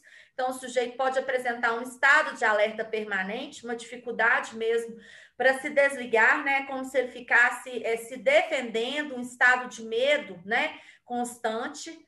É, é, sentimentos, né, e pensamentos de negativismo, que é falta de crença no futuro, falta de expectativas na vida, né, é, sentimentos de remorso, é, muitas vezes por coisas que fez, pelo que deixou de fazer, né, é, estados de anedonia, que é realmente uma apatia, né, uma dificuldade ou uma ou uma incapacidade de apresentar reações, de, né, de de reagir, né? às situações da vida que sejam da cotidiano, que sejam felizes ou tristes, né? A pessoa fica insensível, né, ao ambiente e comportamentos de evitação a qualquer coisa que lembre o trauma. Pode passar. E aí a gente vai pensar, então, né, é, que contexto é esse que a gente está chamando muitas vezes de desastres, né? Que a gente está chamando de tragédias ou de calamidades públicas e que se configuram muito em estados emergenciais em uma dada população. Pode passar. A gente tem, então, várias, é, várias conceituações. É, aqui a gente está transitando por um campo que não é um campo da saúde, né? Então, a gente vai usar aqui uma conceituação que é da defesa civil, é, para poder dizer que um desastre é o resultado de eventos adversos, que sejam eles naturais ou provocados pelo homem, é, sobre um cenário vulnerável, causando grave perturbação do funcionamento de uma comunidade ou sociedade, envolvendo perdas, danos humanos, danos materiais, econômicos, ambientais, é, e também comprometendo a sua capacidade de lidar com o problema usando meios próprios tá? Então, aqui a gente poderia é, trazer vários exemplos, né? Que a gente tá, é, a gente tem visto aí, né? É, a, a, o incêndio da boate de Santa Maria, né? Ele pode se caracterizar aqui. Ah, os contextos de seca, os contextos de inundação e chuva. É, a gente pode pensar grandes acidentes, a gente pode pensar a pandemia, né? E é, não podemos jamais esquecer ainda mais o dia de hoje, né? Que para nós de Minas Gerais virou um contexto de alarme constante, que é o rompimento das barragens, né? Da mineração. E aí então a gente vai pensar, né? que essas situações elas vão gerar né, alterações graves nas condições de normalidade, né, é, pensando aí num contexto de uma comunidade pode ser um bairro, pode ser uma região, pode ser um município, né, um estado ou até o mundo inteiro, né, como a gente está vivendo a pandemia, e que vai comprometer a nossa capacidade de resposta, principalmente imediata, né? Então, esses desastres, eles instalam situações de crise é, que vão exigir, né, é, um, toda uma, uma, uma soma de esforços, né? forças-tarefas se colocando aí e se somando é, para produzir respostas para que é, nos ajude a fazer a travessia de um estado de vida que a gente considerava que a gente tinha uma vida ajustada, uma vida de normalidade, né? Para a outra margem aí, né? Que é a gente restabelecer para um novo estado, que hoje, inclusive, a gente tem chamado né, de novo normal, que a gente, na verdade, não sabe o que é isso, mas a gente reconhece que a gente vai, é, a gente vai restabelecer condições de vida, né? Menos caóticas, nós vamos estabelecer rotinas, mas reconhecendo que jamais serão é, totalmente iguais àquelas que a gente tinha até março deste ano. Pode passar. E aí, né, eu acho que aqui é um ponto que eu gostaria de ressaltar, que os desastres, né, eles vão afetar desproporcionalmente as pessoas é, mais vulneráveis no mundo. É, isso pelo, pelo fato né, de que essas pessoas ou populações é, já não possuem infraestruturas, né, serviços sociais para lhe gerar a proteção ou mitigar os efeitos advindos desses desastres é, ambientais ou naturais. Né? É, aqui nós estamos chamando de ambientais, mas é muito difícil a gente pensar hoje um desastre que é totalmente natural, né? Pensando que as condições climáticas e tudo que tem acontecido sofrem diretamente de uma forma intensa, né? As ações que a humanidade vem provocando aí na natureza. Então, a gente precisa reconhecer que os impactos de qualquer desses contextos não são iguais né, para todas as populações, para todas as classes socioeconômicas. E por isso mesmo, as políticas públicas elas precisam se consolidar, né, é, de maneira que as pessoas é, mais vulneráveis possam ser mais assistidas, né, intensamente assistidas e mais rapidamente assistidas, né, para que elas não fiquem condicionadas a construírem saídas e enfrentamentos baseando-se somente nas suas condições de resiliência, né?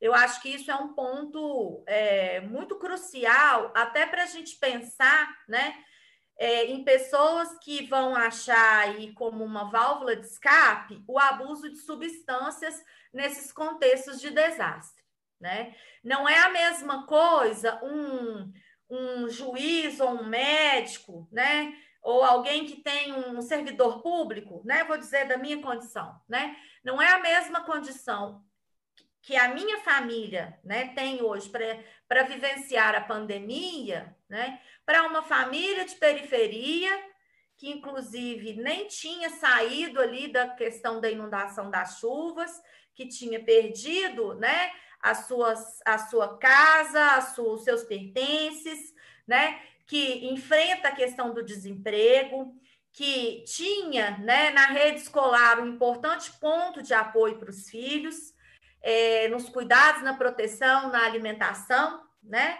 É, então, não é da mesma forma que a gente enfrenta essa pandemia, né? Vamos considerar que eu tenho uma vida, né?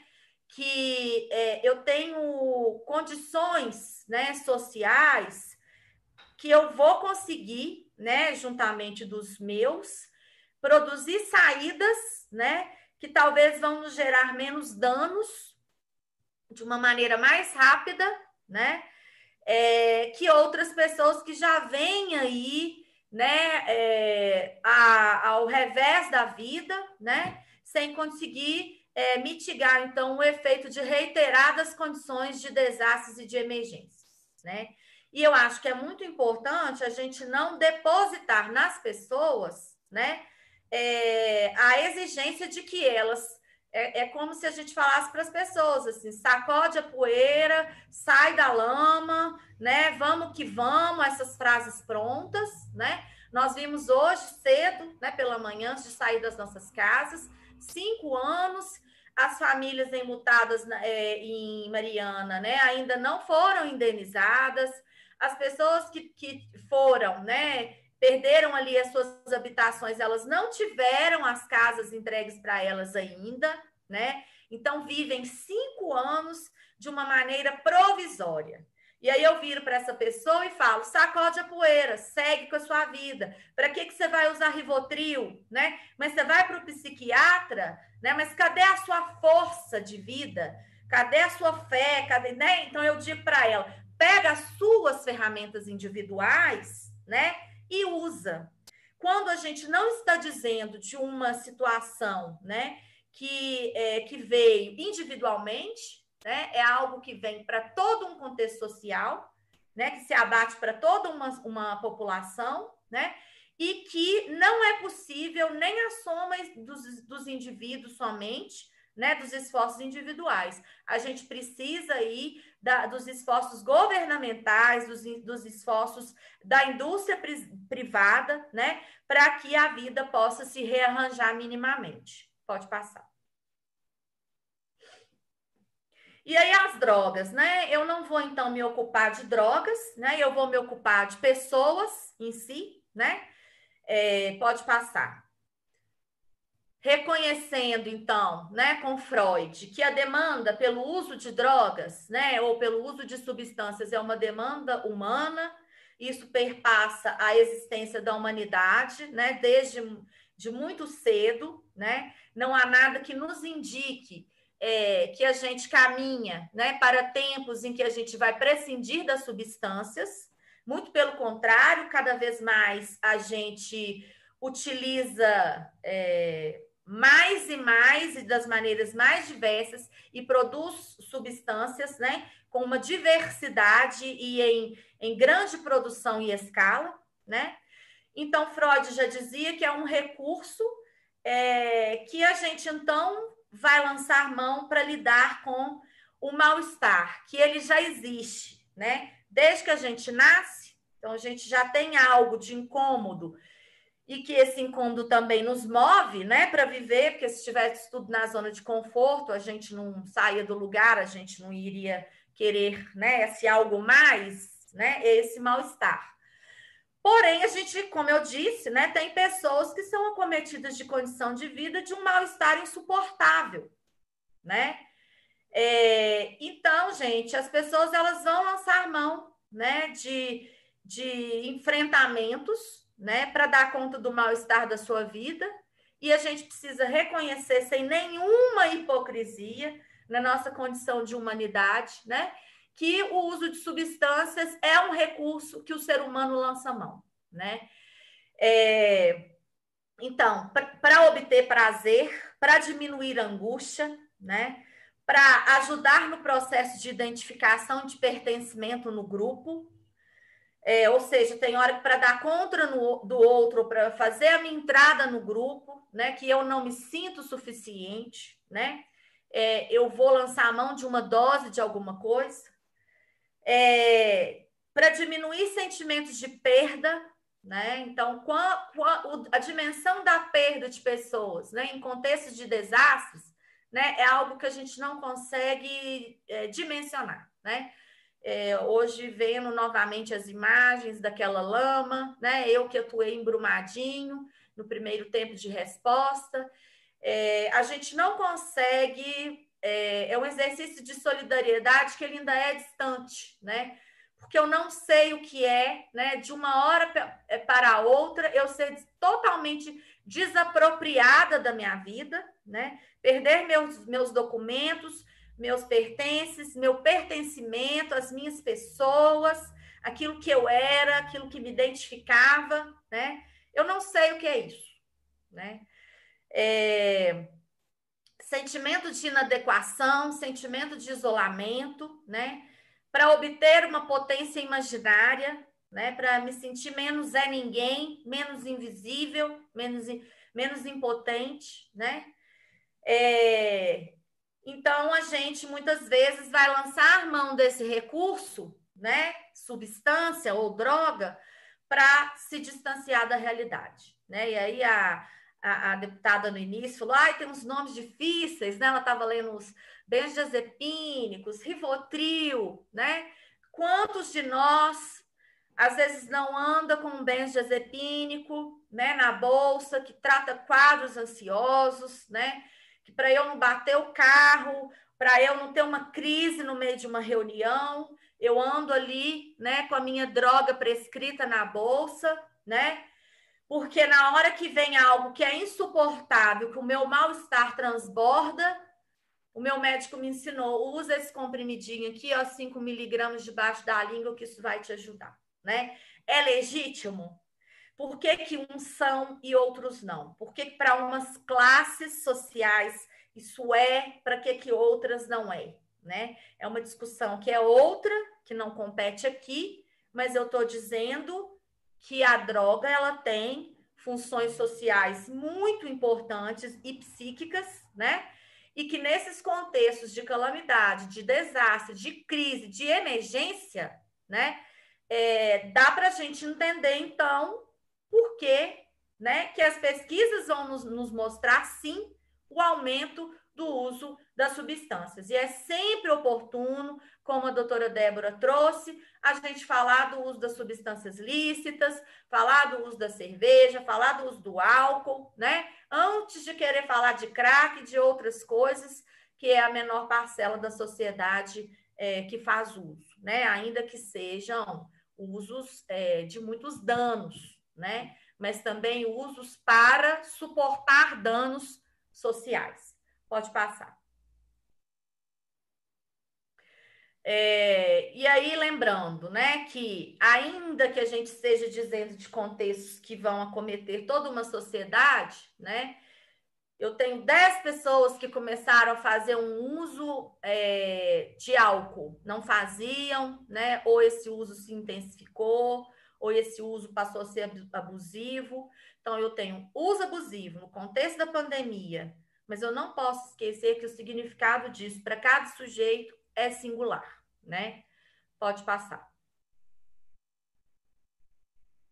Então, sempre importante lembrar, né, que no encontro de um sujeito com uma droga, né, eu tenho a singularidade, eu tenho as características da droga, né, e eu tenho os desdobramentos das drogas no contexto social, além de pensar que esse contexto que é social, que é político, que é econômico, que é cultural, né, vai remeter a, a condições, né, que cada sujeito vai poder ampliar ou não a sua capacidade de resiliência, né? Resiliência não é uma capacidade dada que o sujeito nasce com ela igual cor de olho, né? A minha, eu posso ampliar, eu posso fortalecer a minha capacidade de resiliência e tanto os fatores internos ao sujeito quanto os fatores do contexto vão ajudar nessa ampliação, né? Ou na fragmentação é, desse sujeito, né? Ao ponto dele não dar conta de lidar com seus traumas, né?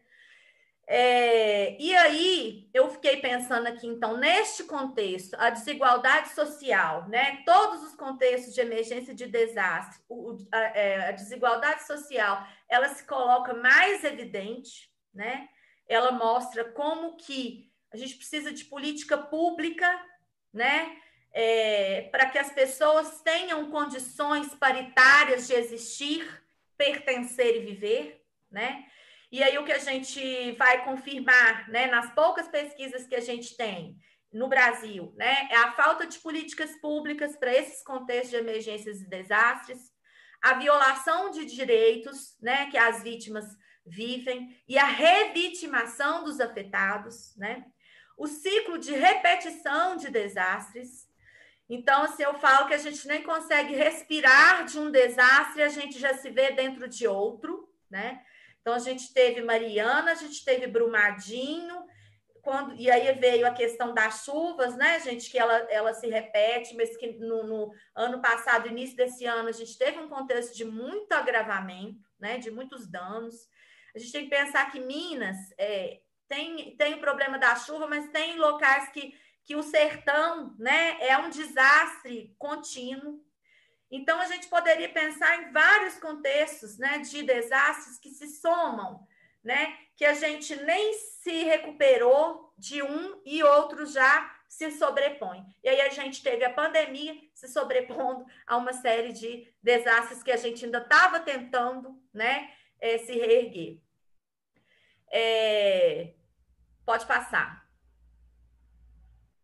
Então, a gente precisa pensar né, né, na eficiência ou na deficiência de responsabilidade do Estado, né, tomando a gestão e a redução de riscos e dos desastres como função essenciais no desenvolvimento das políticas públicas. Isso é da OPAS, né?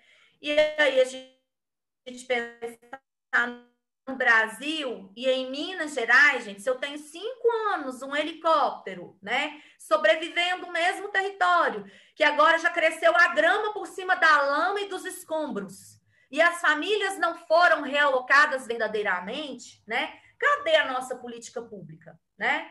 É, isso precisa acontecer de, de maneira articulada, de maneira intersetorial, né? Além de fortalecer as políticas já existentes, então, a gente precisa de política de saúde mental, né? Para poder tra tratar os abusos de substâncias, para poder, poder tratar os transtornos de estresse pós-traumáticos, né? Advindos dos contextos de desastres.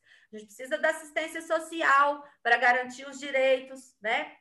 É, a política de educação, minimizando né, efetivamente o sofrimento decorrente dos eventos, evitando as violações e o aumento das desigualdades, além de restabelecer os direitos já violados.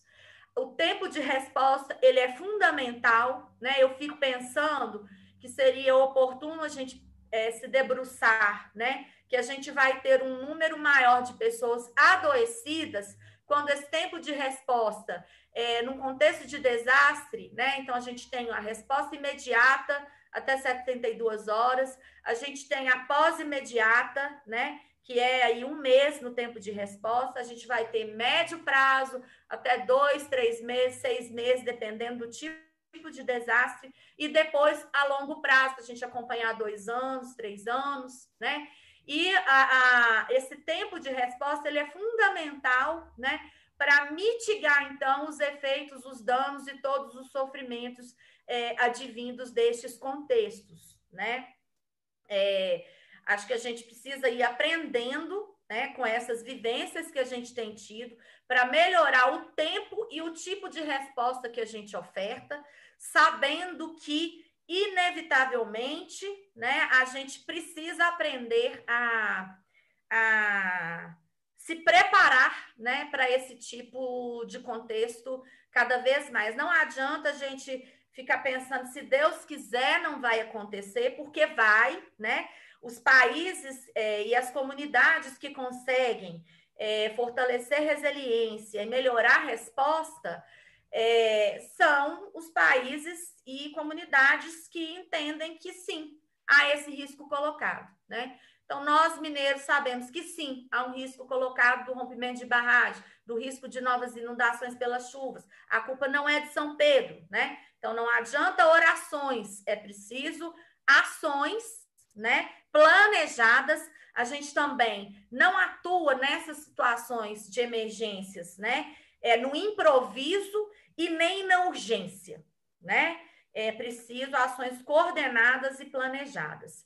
Então, essa é a reflexão que eu trouxe, né, para a gente tentar pensar aí como que transtorno de estresse pós-traumático, abuso de substâncias em contextos de desastres, né, podem ser é, amarrados e, e nos impulsionar.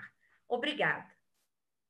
Doutora Cristiane, nós que agradecemos a sua participação, representando aqui nessa nossa audiência o, a presidência do Conselho Regional de Psicologia de Minas Gerais e trouxe aqui aspectos extremamente relevantes para esse nosso debate, inclusive destacando é, as questões de desigualdades sociais, porque elas sim são realmente evidenciadas nesses momentos. Nós temos perfis populacionais diferenciados e para cada um dos seus perfis, né, a gente percebe a olho nu o quão a desigualdade social ela influencia e muito na, nas soluções, né, nas próprias é, formas de superação.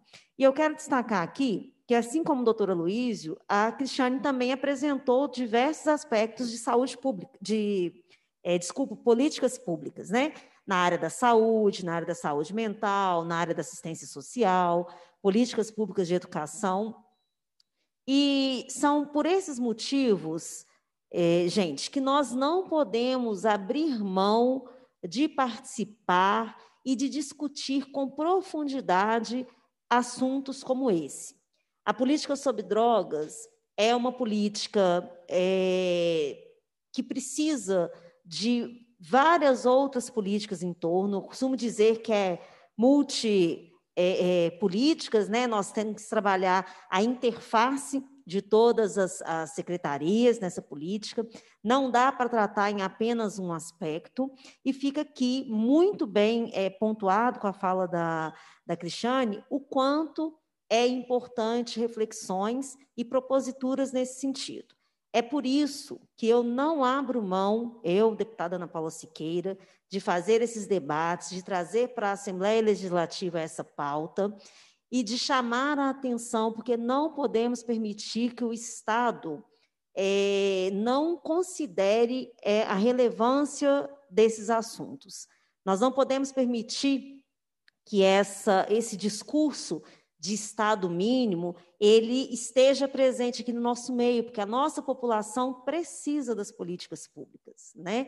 Então, não podemos aqui deixar que é, as terceirizações, as privatizações impactem na oferta da política pública, porque a nossa população precisa muito, sobretudo a população mais vulnerável.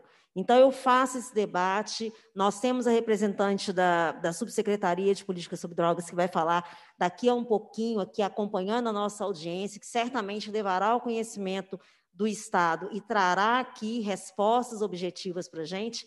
E eu não abro mão de lutar pelas políticas públicas, que elas possam chegar de fato na ponta, porque essa é uma forma da gente também é, promover a dignidade humana. E esse é um dos meus focos né, de atuação, de trabalho e de busca pela dignidade humana. Bom, doutora Cristiane, vamos avançar. Nós ainda temos mais duas apresentações aqui e muitas intervenções pelas, pelas redes sociais. É, eu vou fazer aqui apenas uma, uma leitura nesse momento, depois eu leio outras. Saudar aqui, cumprimentar a Ivanil Mendes, que é também uma, uma militante da área de política sobre drogas, ela está dizendo que o, o CREAD parabeniza a deputada Ana Paula pela pauta, que é de fundamental importância para a nossa sociedade. Temos também a Epson de Ipatinga, e eles dizem o seguinte: a Epson vem trabalhando no município de Ipatinga na prevenção ao uso de álcool e drogas por adolescentes. Esse é um trabalho bem difícil, pois não temos no município recursos para atender aos adolescentes que se encontram envolvidos com essas drogas. Minha pergunta é: o que fazer para que o município oferte o serviço do CAPS-AD? Como podemos ajudar esses adolescentes? Cada vez mais percebemos, é, perdemos para este mal a nossa juventude, né, de fato. A Tatiana Be é, Belônia diz que sim. Assistir TV é estar sendo estimulado ao consumo de álcool o tempo do, todo. Né? Ela está falando aqui da insistência das propagandas, é o quanto é, a essa exposição. É, a Ivanil retorna dizendo que precisamos conquistar mais espaço de tratamentos a uso e abuso de álcool e outras drogas para adolescentes e mulheres. Maria Helena, ela diz o seguinte: Bom dia, sou psicóloga na Epson de Patinga, parabéns, deputada. Aguardamos a senhora para uma visita, pode registrar aqui, né? Logo em breve estarei aí com vocês. E ela diz: é comum ver crianças e adolescentes iniciarem o uso de, de drogas diante do exemplo de pessoas próximas, muitas vezes os próprios familiares. É urgente e necessário trabalhar essa conscientização para a educação em relação ao que se pode ser prejudicial, pois crianças e adolescentes não têm como evitar o convívio com essas pessoas. Muito triste ver o descuido de quem deveria estar cuidando. E a Marli Silva diz: psicólogos atuando nas escolas, ensinando a importância do tratamento da mente, mente saudável e crença e o olhar para os próximos são fatores importantes para todos. E aqui eu quero destacar, Marli, a importância do, do, da, da legislação recém-aprovada no ano passado, que é a inclusão dos assistentes sociais e dos psicólogos como profissionais também na área da educação, extremamente importante. Fizemos aqui, há uns 15 dias atrás, uma audiência na Comissão de Educação, tratando exatamente da regulamentação da inclusão dos assistentes sociais e psicólogos também nas escolas. Bom, temos outros comentários, mas eu vou deixar para fazer daqui a um pouquinho. Quero registrar aqui é um contato que eu recebi aqui do Ronaldo Viana, que é da Terra da Sobriedade. Hoje ele não pôde participar aqui conosco em função de outras agendas, mas o Ronaldo Viana é uma pessoa extremamente atuante também na política sobre drogas, é, tem um trabalho belíssimo à frente da Terra da Sobriedade, que trabalha a perspectiva é, da prevenção. É uma associação de atenção à dependência química, e eu quero aproveitar o momento aqui para cumprimentar a Terra da Sobriedade pelos seus 18 anos que está completando agora, no ano de 2020. Parabéns, Ronaldo Viana, pelo brilhante trabalho, e desejamos aqui, nas próximas oportunidades, recebê-lo presencialmente para tratarmos da pauta de prevenção aqui na nossa comissão. Eu vou passar agora a palavra ao Rony Las Casas, Rony Carlos Las Casas Rodrigues, mestre em promoção de saúde e prevenção da violência pela Faculdade de Medicina da UFMG, especialista em atenção básica em saúde da família pela Faculdade de Medicina também da UFMG, graduado em Educação Física pela UniBH, docente na Faculdade Única de Contagem, consultor da Rede de Atenção Básica do Ministério da Saúde, CETES UFMG, e diretor estratégico e científico do programa Mexa-se Brasil. Trabalhou na docência nos cursos de medicina da UFMG, nos cursos de educação física e fisioterapia da UF, eh, VJM em Diamantina e no curso de educação física do UniBH. Professor Rony, com o senhor a palavra.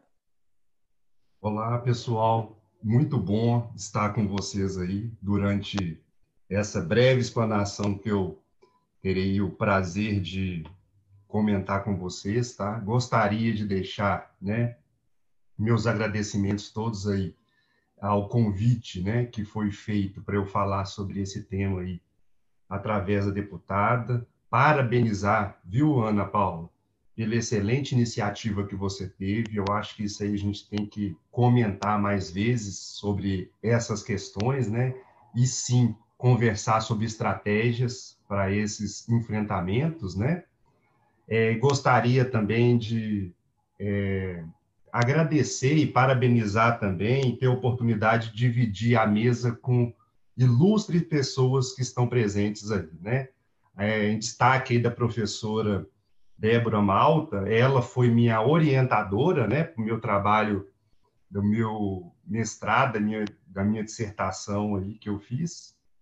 É, tenho um imenso prazer em dividir a mesa com ela e com os demais também, né, que são todos notórios profissionais e professores aí que têm muito a contribuir com esse brilhante tema, essa brilhante plenária aí com essa participação. Eu vou é, começar aqui mesmo falando né, sobre a questão de, das drogas, né, os malefícios à saúde e estratégias de prevenção.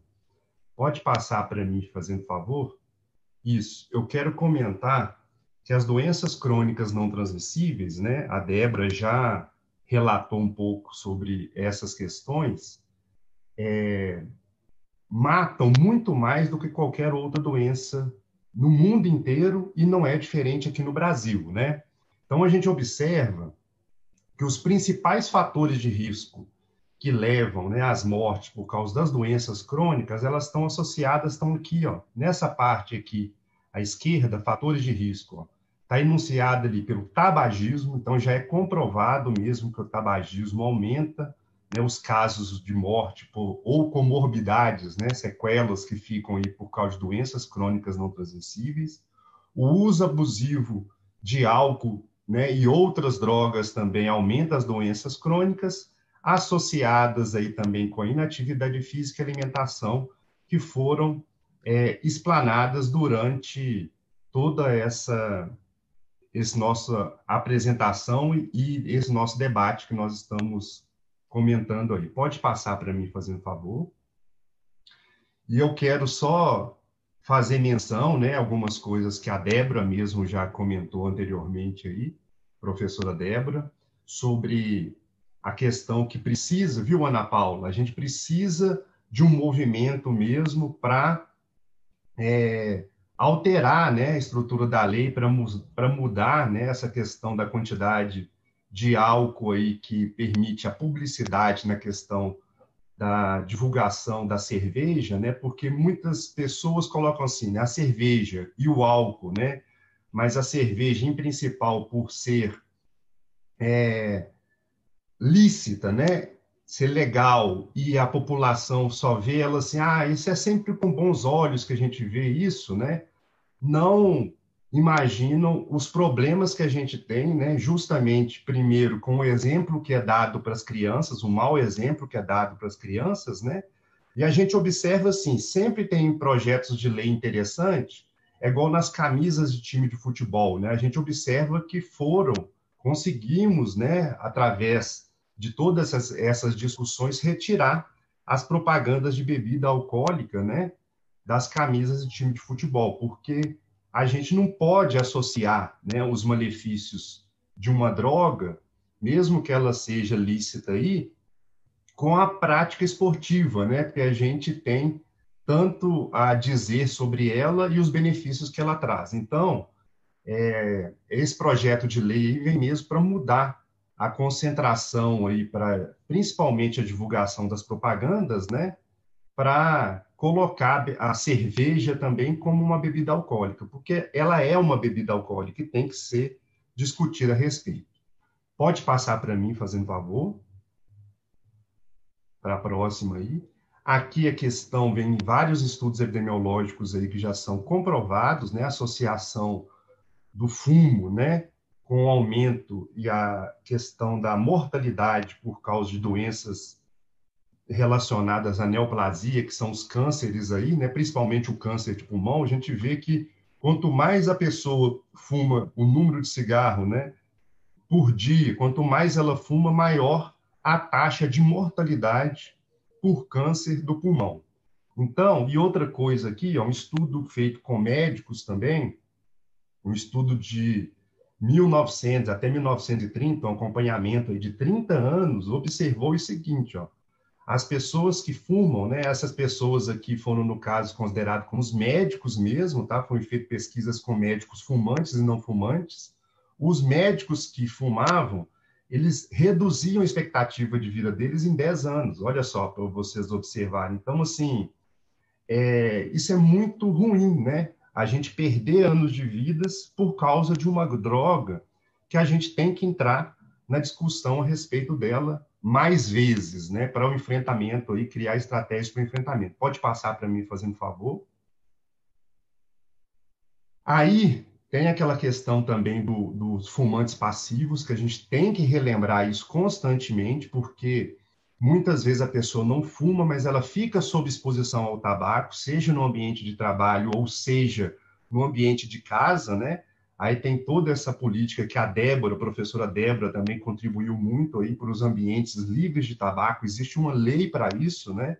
Porque as pessoas que fumam passivamente, é, elas têm os mesmos problemas né, de saúde que eu até apresentei ali anteriormente, como se ela fumasse mesmo, né?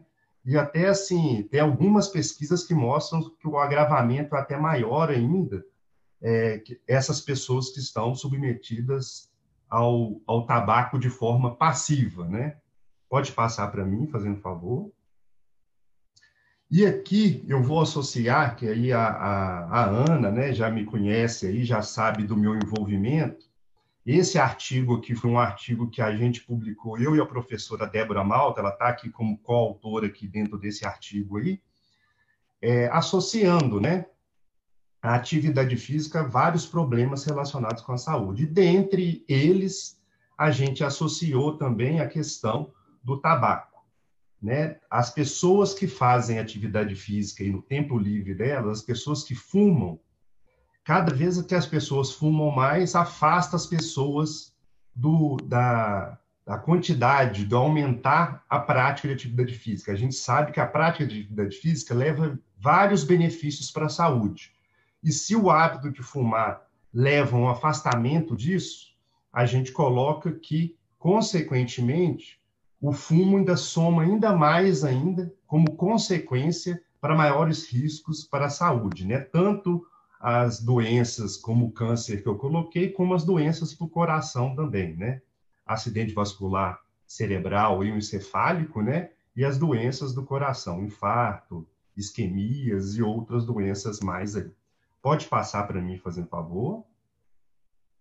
Aqui eu quero colocar essa questão, puxando também um gancho do que a professora Débora colocou, né, que o isolamento social, e a Ana também colocou várias questões dessas relacionadas aí, o isolamento social cada vez mais, né, ele, ele gera esse isolamento, a pandemia gera esse isolamento, algumas vezes aumenta-se o abandono desses idosos, né, e pelas condições também com a pandemia, o idoso acabou ficando mais isolado ainda.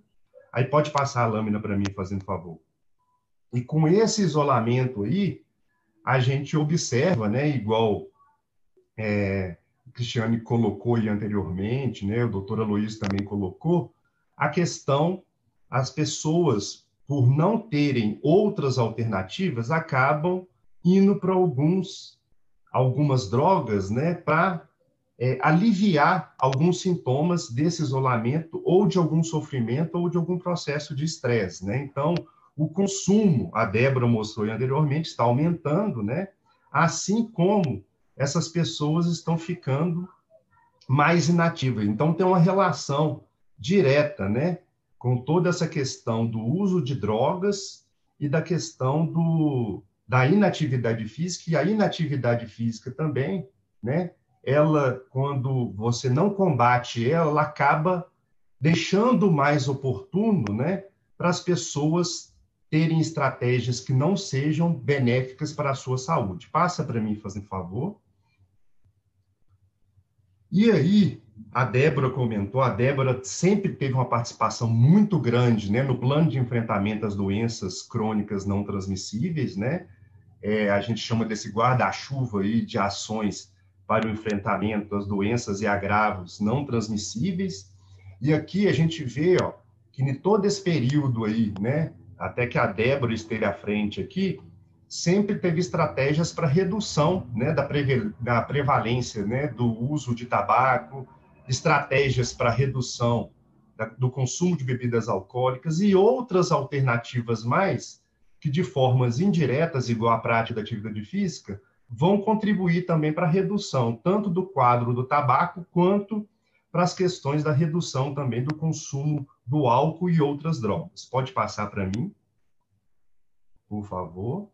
E aí, é, aqui no NASF, né, Núcleo de Ampliado de Saúde da Família, aqui de Belo Horizonte, né, junto com os CRAS, ações intersetoriais da Secretaria Municipal de Saúde e outras estratégias, é, a gente tem um programa de controle do tabagismo, né?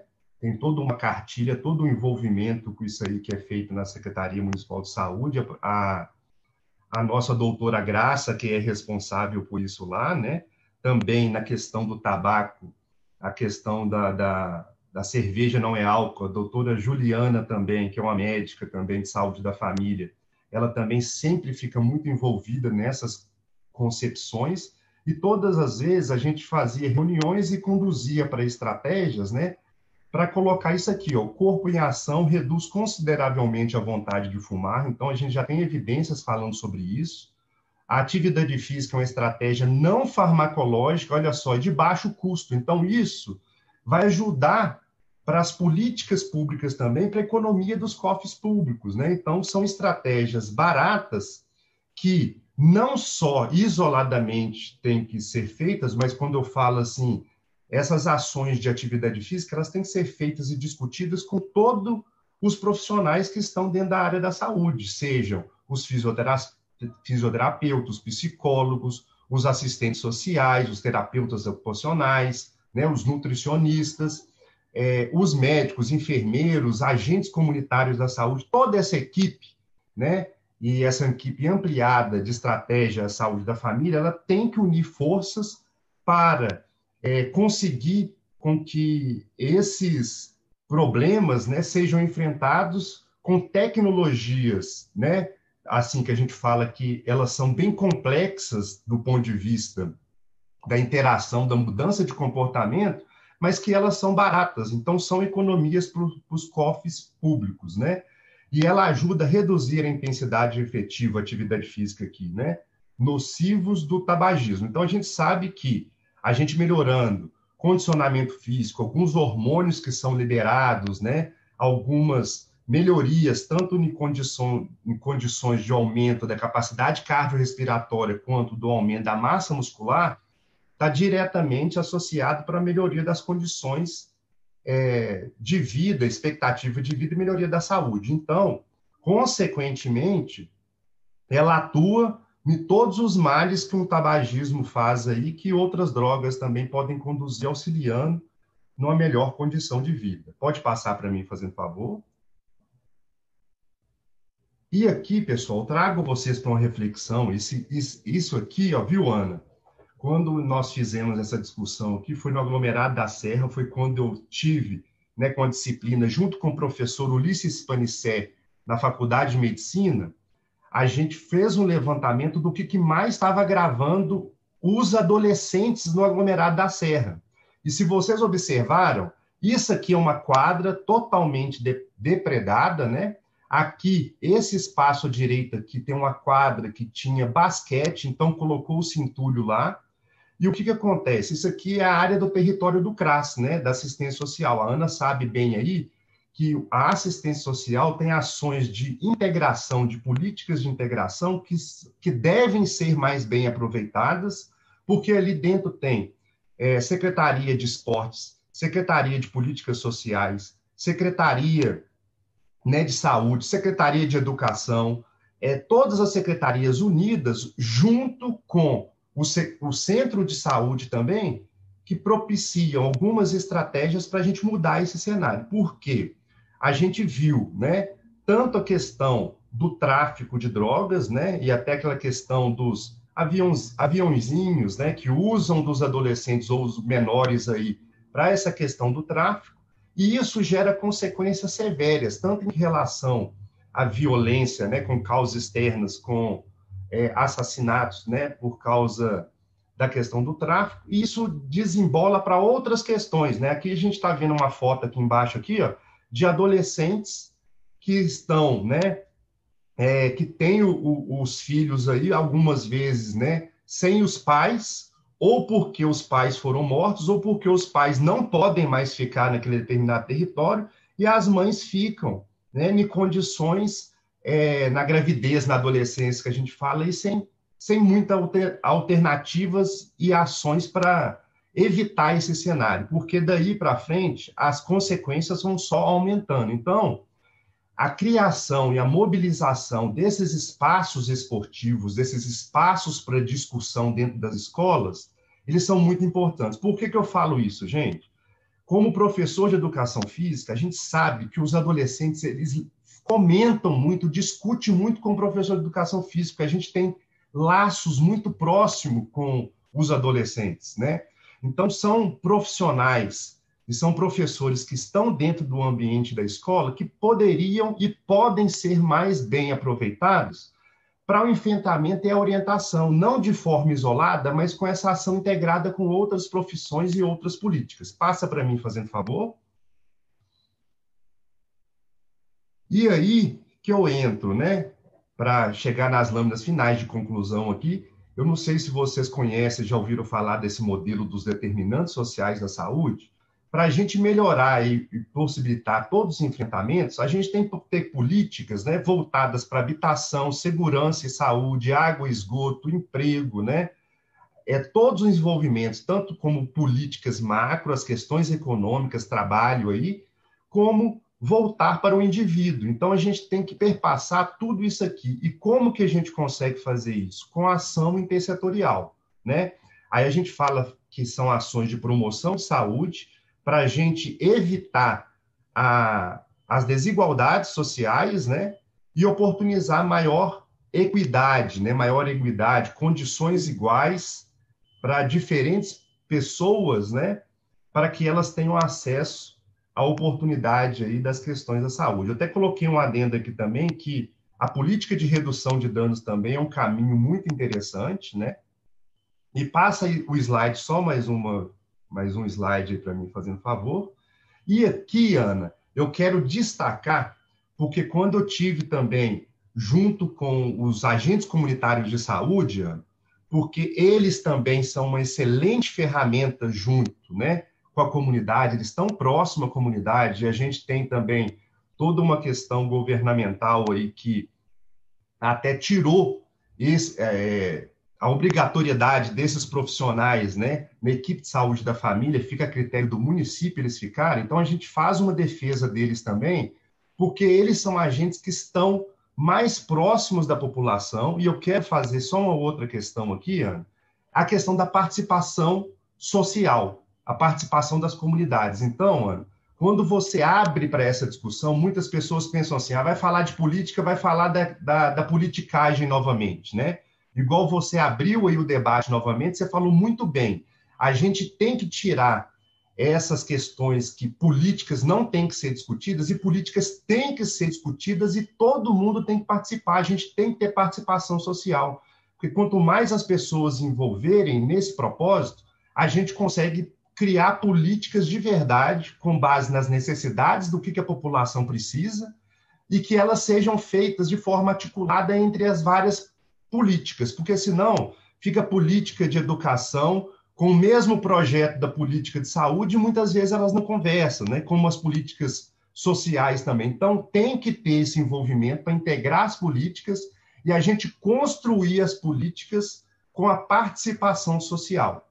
Então, assim, existem estratégias para isso, você sabe disso muito bem, Ana, você que já esteve atuante aí dentro da educação e na, na sua área de formação, que são as, a assistência social, né? já trabalhou nos vales do Jequitinhonha e Mucuri e já trabalhou com as questões de violência. Então, a gente sabe que tudo isso tem que ser feito de forma integrada, porque se não for feito de forma integrada, fica é, movimentos pouco ativos e isolados e com pouca efetividade. Então, a gente precisa mesmo cada vez mais da participação social. Passa só a última lâmina que eu quero fazer, só a última provocação. É isso aqui, tá, pessoal? A gente está falando de álcool e drogas aí, e a gente esquece também de falar de agrotóxicos, vamos falar de poluição aí, tá? O que que acontece?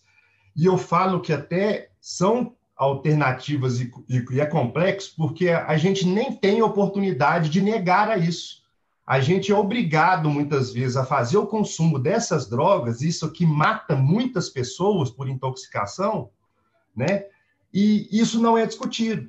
Então, dentro da questão do álcool e drogas também, tem que ser colocada essa discussão aqui também dos agrotóxicos né, e pesticidas que prejudicam toda uma saúde da população e que muitas vezes a gente nem tem alternativa para falar assim, eu não quero o consumo de comida com esses agrotóxicos. Né? A gente é como se fosse assim, eu nem tenho alternativa de escolha, eu sou obrigado a levar para esse tipo de droga também, que muitas vezes não é discutido. Né? Aí passa a última lâmina aí mesmo, tá? Eu só quero agradecer e deixar meu contato aí, e de falar que a gente pode criar cidades saudáveis, né? Isso aqui a gente fez lá na Secretaria Municipal de Saúde, é, com todo um grupo, né, de forma intersetorial, falando que a gente precisa de cidades que ofereçam educação, cidadania, né, é, espaços para agricultura coletiva e familiar aí, espaços do teatro, igual a doutora Luiz falou, né, ações esportivas mesmo distribuídas e alternativas, que a gente tenha estratégias para gente não ficar apenas é, vulnerável né, aos males das drogas. Então, a gente precisa, sim, a Ana já sabe disso aí com a questão do idoso, a gente tem feito algumas lives também, para, dentro do possível, aumentar o nível de atividade física dos idosos, né?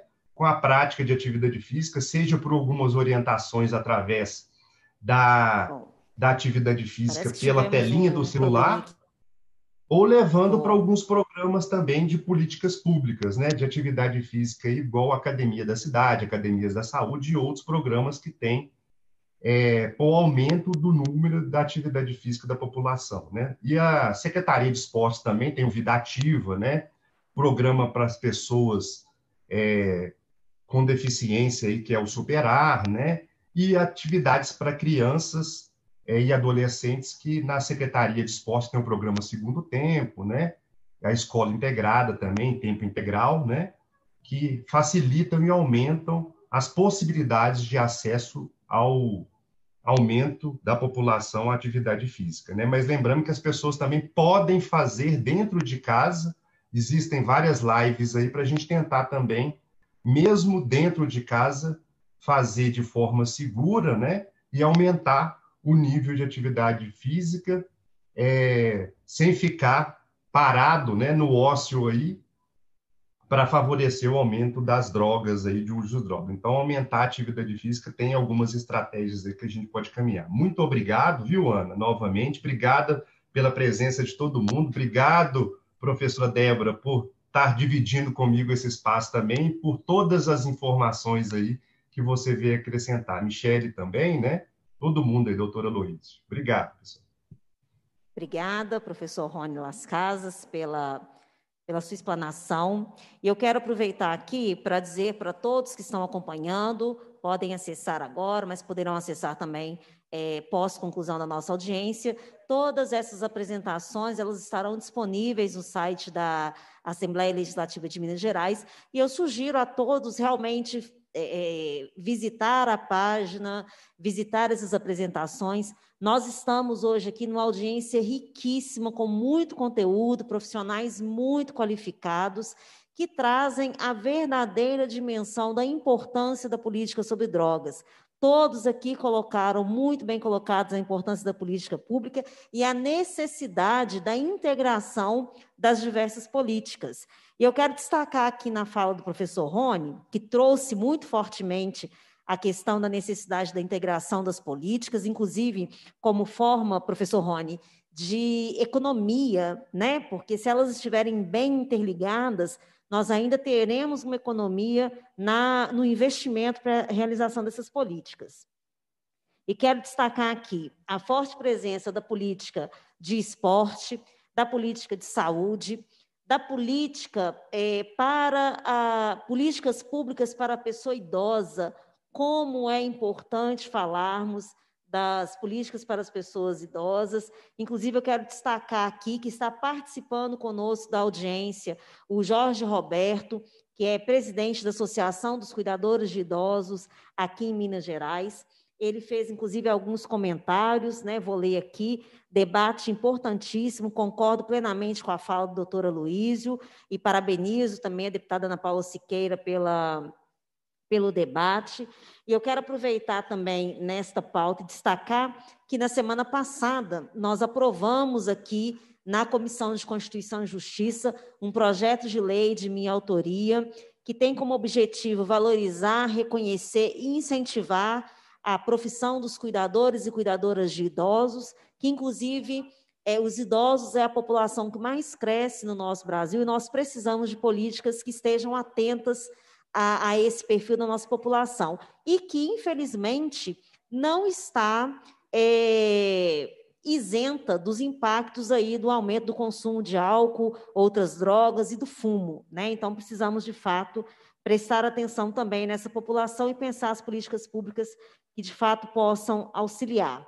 O Rony também disse aqui da da importância da assistência social, da importância da educação física, trouxe agentes importantíssimos aí, como os ACS, né, a equipe de saúde da família, e nas lâminas, na apresentação dele, ele traz realidades experimentadas, como, por exemplo, no aglomerado da Serra, é, dizendo da importância de entender a vida das pessoas, inclusive para a construção das propostas.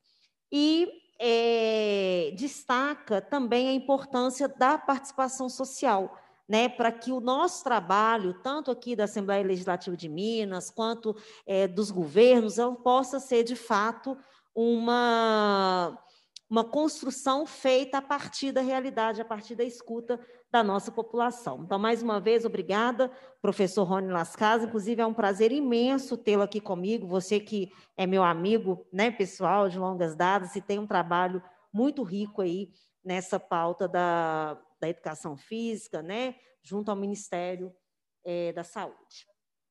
Bom, nós ainda temos aqui a, mais uma convidada, que é a Michele, que está inclusive representando aqui à Secretaria de Desenvolvimento Social. Mas antes, Michele, eu quero te dizer que nós estamos com uma série de intervenções aqui, estou até né, tentando selecionar algumas por conta do nosso tempo, mas eu queria aqui saudar a Sara de Oliveira, que está nos parabenizando pela atuação, a Sara é lá do Vale do Aço, saudar a Nelly Magalhães também parabenizando a todos, em especial a doutora Luísio, é, dizendo aqui do comprometimento com a saúde mental.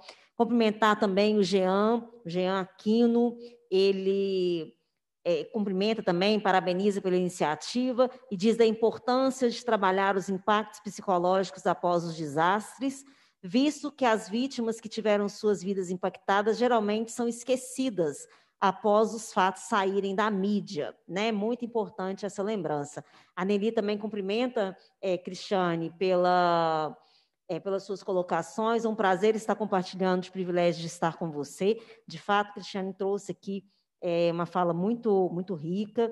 Cumprimentar o Fernando, Luiz Fernando, ele é da Mar de Santana do Paraíso, parabenizando também a deputada por esta reunião. A Fátima Margarida, ela diz o seguinte: Bom dia, deputada Ana Paula. Nós da Associação Reviver de Ipatinga ficamos felizes pela iniciativa e parabeniza pela live sobre o assunto tão importante que é o uso das drogas, um fato real que precisamos mudar em nosso país. Obrigada, Adair e todos da Reviver. É, saudar aqui também o Elias Lopes, cumprimentando a deputada pela é, deputada sempre atenta às demandas das minorias, de fato, a nossa população mais vulnerável precisa e necessita do nosso acompanhamento. Daniel Neri, parabeniza a deputada pela excelente iniciativa.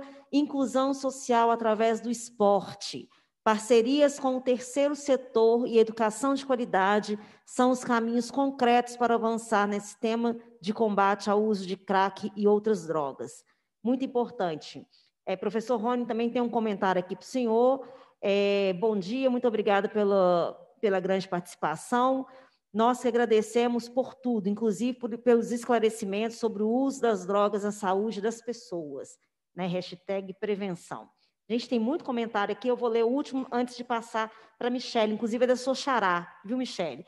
Michelle Xavier, ela diz o seguinte: nós estamos no meio, é, no mês de prevenção e conscientização do diabetes, que uso, é, que o uso do tabaco e de bebidas alcoólicas traz um grande agravamento para esses pacientes em comorbidades nas circunstâncias de doenças vasculares periféricas e levando a maior prevalência da amputação. Acho importante citar isso também. Eu, como podóloga e como podologista, tenho trabalhado na prevenção com pacientes que usam, é, que possuem diabetes e necessitam mudar o estilo de vida, como a prática da atividade física, alimentação e o não uso de tabacos e bebidas alcoólicas.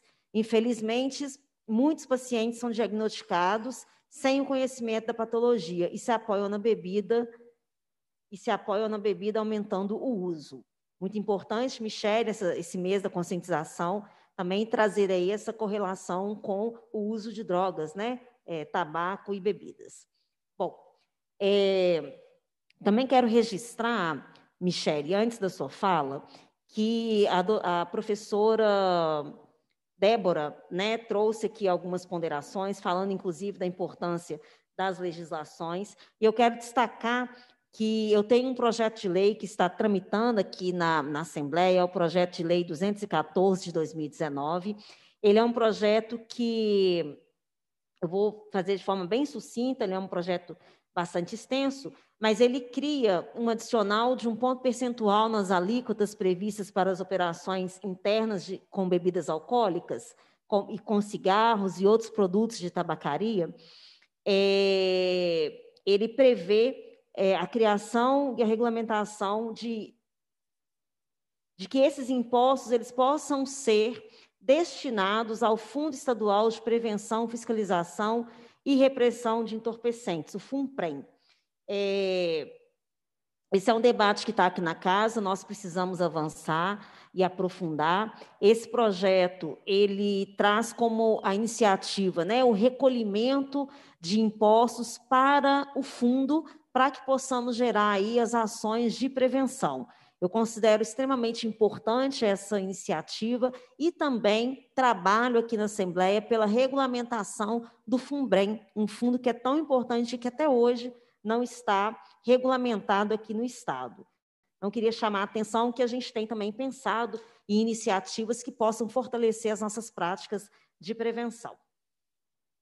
Vou passar agora, então, a palavra a Michele, Michele Halil da Costa, que é psicóloga, mestre em saúde da criança e do adolescente pelo Departamento de Pediatria da Faculdade de Medicina da UFMG e doutoranda em saúde do adulto pelo Departamento da Clínica Médica de Saúde da Faculdade de Medicina da UFMG, psicóloga clínica com experiência em atendimento clínico, orientação familiar e orientação escolar colaboradora do Núcleo de Apoio Psicopedagógico dos Estudantes de Medicina e professora convidada da Faculdade de Medicina da UFMG. Atualmente é assessora responsável pelo Centro de Referência Estadual em Álcool e Outras Drogas na Subsecretaria de Política sobre Drogas do Estado de Minas Gerais. Experiência em docência e pesquisas com enfoque em epidemiologia, saúde do adolescente, saúde do adulto, saúde pública, vulnerabilidade e drogas. Michele, nessa nossa audiência, está representando a subsecretária Soraya Romino dos Santos, subsecretária da Subsecretaria de Política sobre Drogas da Secretaria de Estado de Desenvolvimento Social de Minas Gerais. Michele, obrigada pela presença. Olá, bom dia a todos. Né? Eu quero cumprimentar a deputada Ana Paula, eu acho que essa agenda é de fundamental importância né, cumprimentar toda a mesa, é, dizer, né, num momento inicial que eu até pensei em fazer uma apresentação, mas eu imaginei, né, que os outros participantes estariam dados e como eu ficaria por último, eu acho que eu vou é, é, organizar, que eu tenho um roteiro, mas eu vou organizar minha fala um pouco na tentativa de compilar um pouco as informações para a gente chegar né, até o que o Estado tem conseguido responder hoje. Bom, no, no primeiro momento, né, eu acho que a gente tem que retomar. É, aliás, eu vou, inclusive, justificar, antes de tudo, a minha presença aqui hoje. Né? Eu estou representando a Subsecretaria de Política sobre Drogas, vinculada à SEDESE, na figura da, da subsecretária Soraya Romina, que, por estar em período de férias, não pôde participar desse importante debate, tá? Mas é, é eu quero registrar que é uma pauta muito importante para a Subsecretaria de Política sobre Drogas. É, primeira coisa que eu queria dizer, assim, é, é voltar um pouco na questão do estresse pós-traumático, né, enquanto uma condição de saúde mental que vai ocorrer após um evento emocionalmente traumático. Né, como muito bem explicado aí anteriormente, é, vai se caracterizar pelo desenvolvimento de sintomas específicos né, após a ocorrência de um evento que seja considerado traumático para aquele sujeito, né, é, intenso e vai envolver participação, pode envolver participação direta ou indireta da vítima. É, e aí eu estou dizendo isso até para é, é, a Cristiane, ela mencionou uma coisa que eu considero muito importante, que é, é nem sempre as pessoas que vivenciam essas situações adversas, elas são acometidas por transtorno de estresse pós-traumático. Né? É, ele é um quadro que precisa ser diagnosticado por um profissional ele envolve sintomas é, como pesadelos, lembranças involuntárias e angustiantes, a pessoa pode ter flashbacks, rememoração do trauma, é, sofrimentos e reações até físicas e fisiológicas, ela pode querer evitar situações que tão, são semelhantes, pode ter alteração de humor, incapacidade de sentir emoções positivas, a pessoa ficar mais hipervigilante, né? ficar mais atenta, é, não conseguir relaxar. E aí eu trago isso tudo porque é, na situação que a gente vive no país, quem de nós não experimenta tais situações em algum momento da vida? Então, é necessário também que tenha um diagnóstico e uma avaliação para se medir também é, é, até onde vai o estresse pós-traumático. Mas lembrar que, de maneira alguma, isso tira a legitimidade é, de todos esses sintomas, que mesmo que não se caracterizem né, como estresse pós-traumático, que eles possam ser é, prejudiciais para os sujeitos, né, e que eles também não precisem ser é, cuidados. Né? É, eu queria pontuar também essa questão assim das consequências de curto, médio e longo prazo, né? Principalmente porque quando a gente chegar na, na questão do uso e abuso de álcool e outras drogas lá na frente, a gente vai observar, né? Eu já vou me adiantar um pouco que a questão do álcool e outras drogas, elas, é, sobretudo a médio e longo prazo, é, elas precisam ser cuidadas, né? Muitas vezes, é, por uma questão do que está mais emergente, mas também por uma questão cultural, é, a gente volta muito às preocupações para resolver algo que está incomodando neste minuto. Né? Mas, como foi muito bem dito, a gente precisa cuidar da, das consequências no futuro, inclusive é, de planejamento para futuras situações adversas, né? E eu não sei se a gente vai conseguir evitar o estresse pós-traumático, mas a gente pode minimizar os impactos. Né?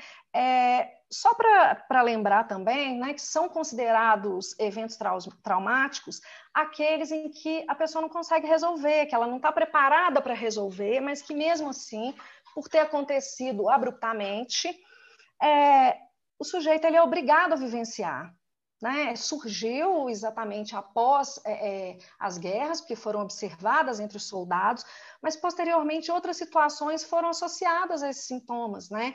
E aí a gente tem situações muito presentes no nosso contexto que estão ligados à violência urbana, agressão física, abuso sexual, terrorismo, tortura, assalto, é, às vezes acidentes, né? É, é, catástrofes naturais ou provocadas, é, e até situações de saúde, né?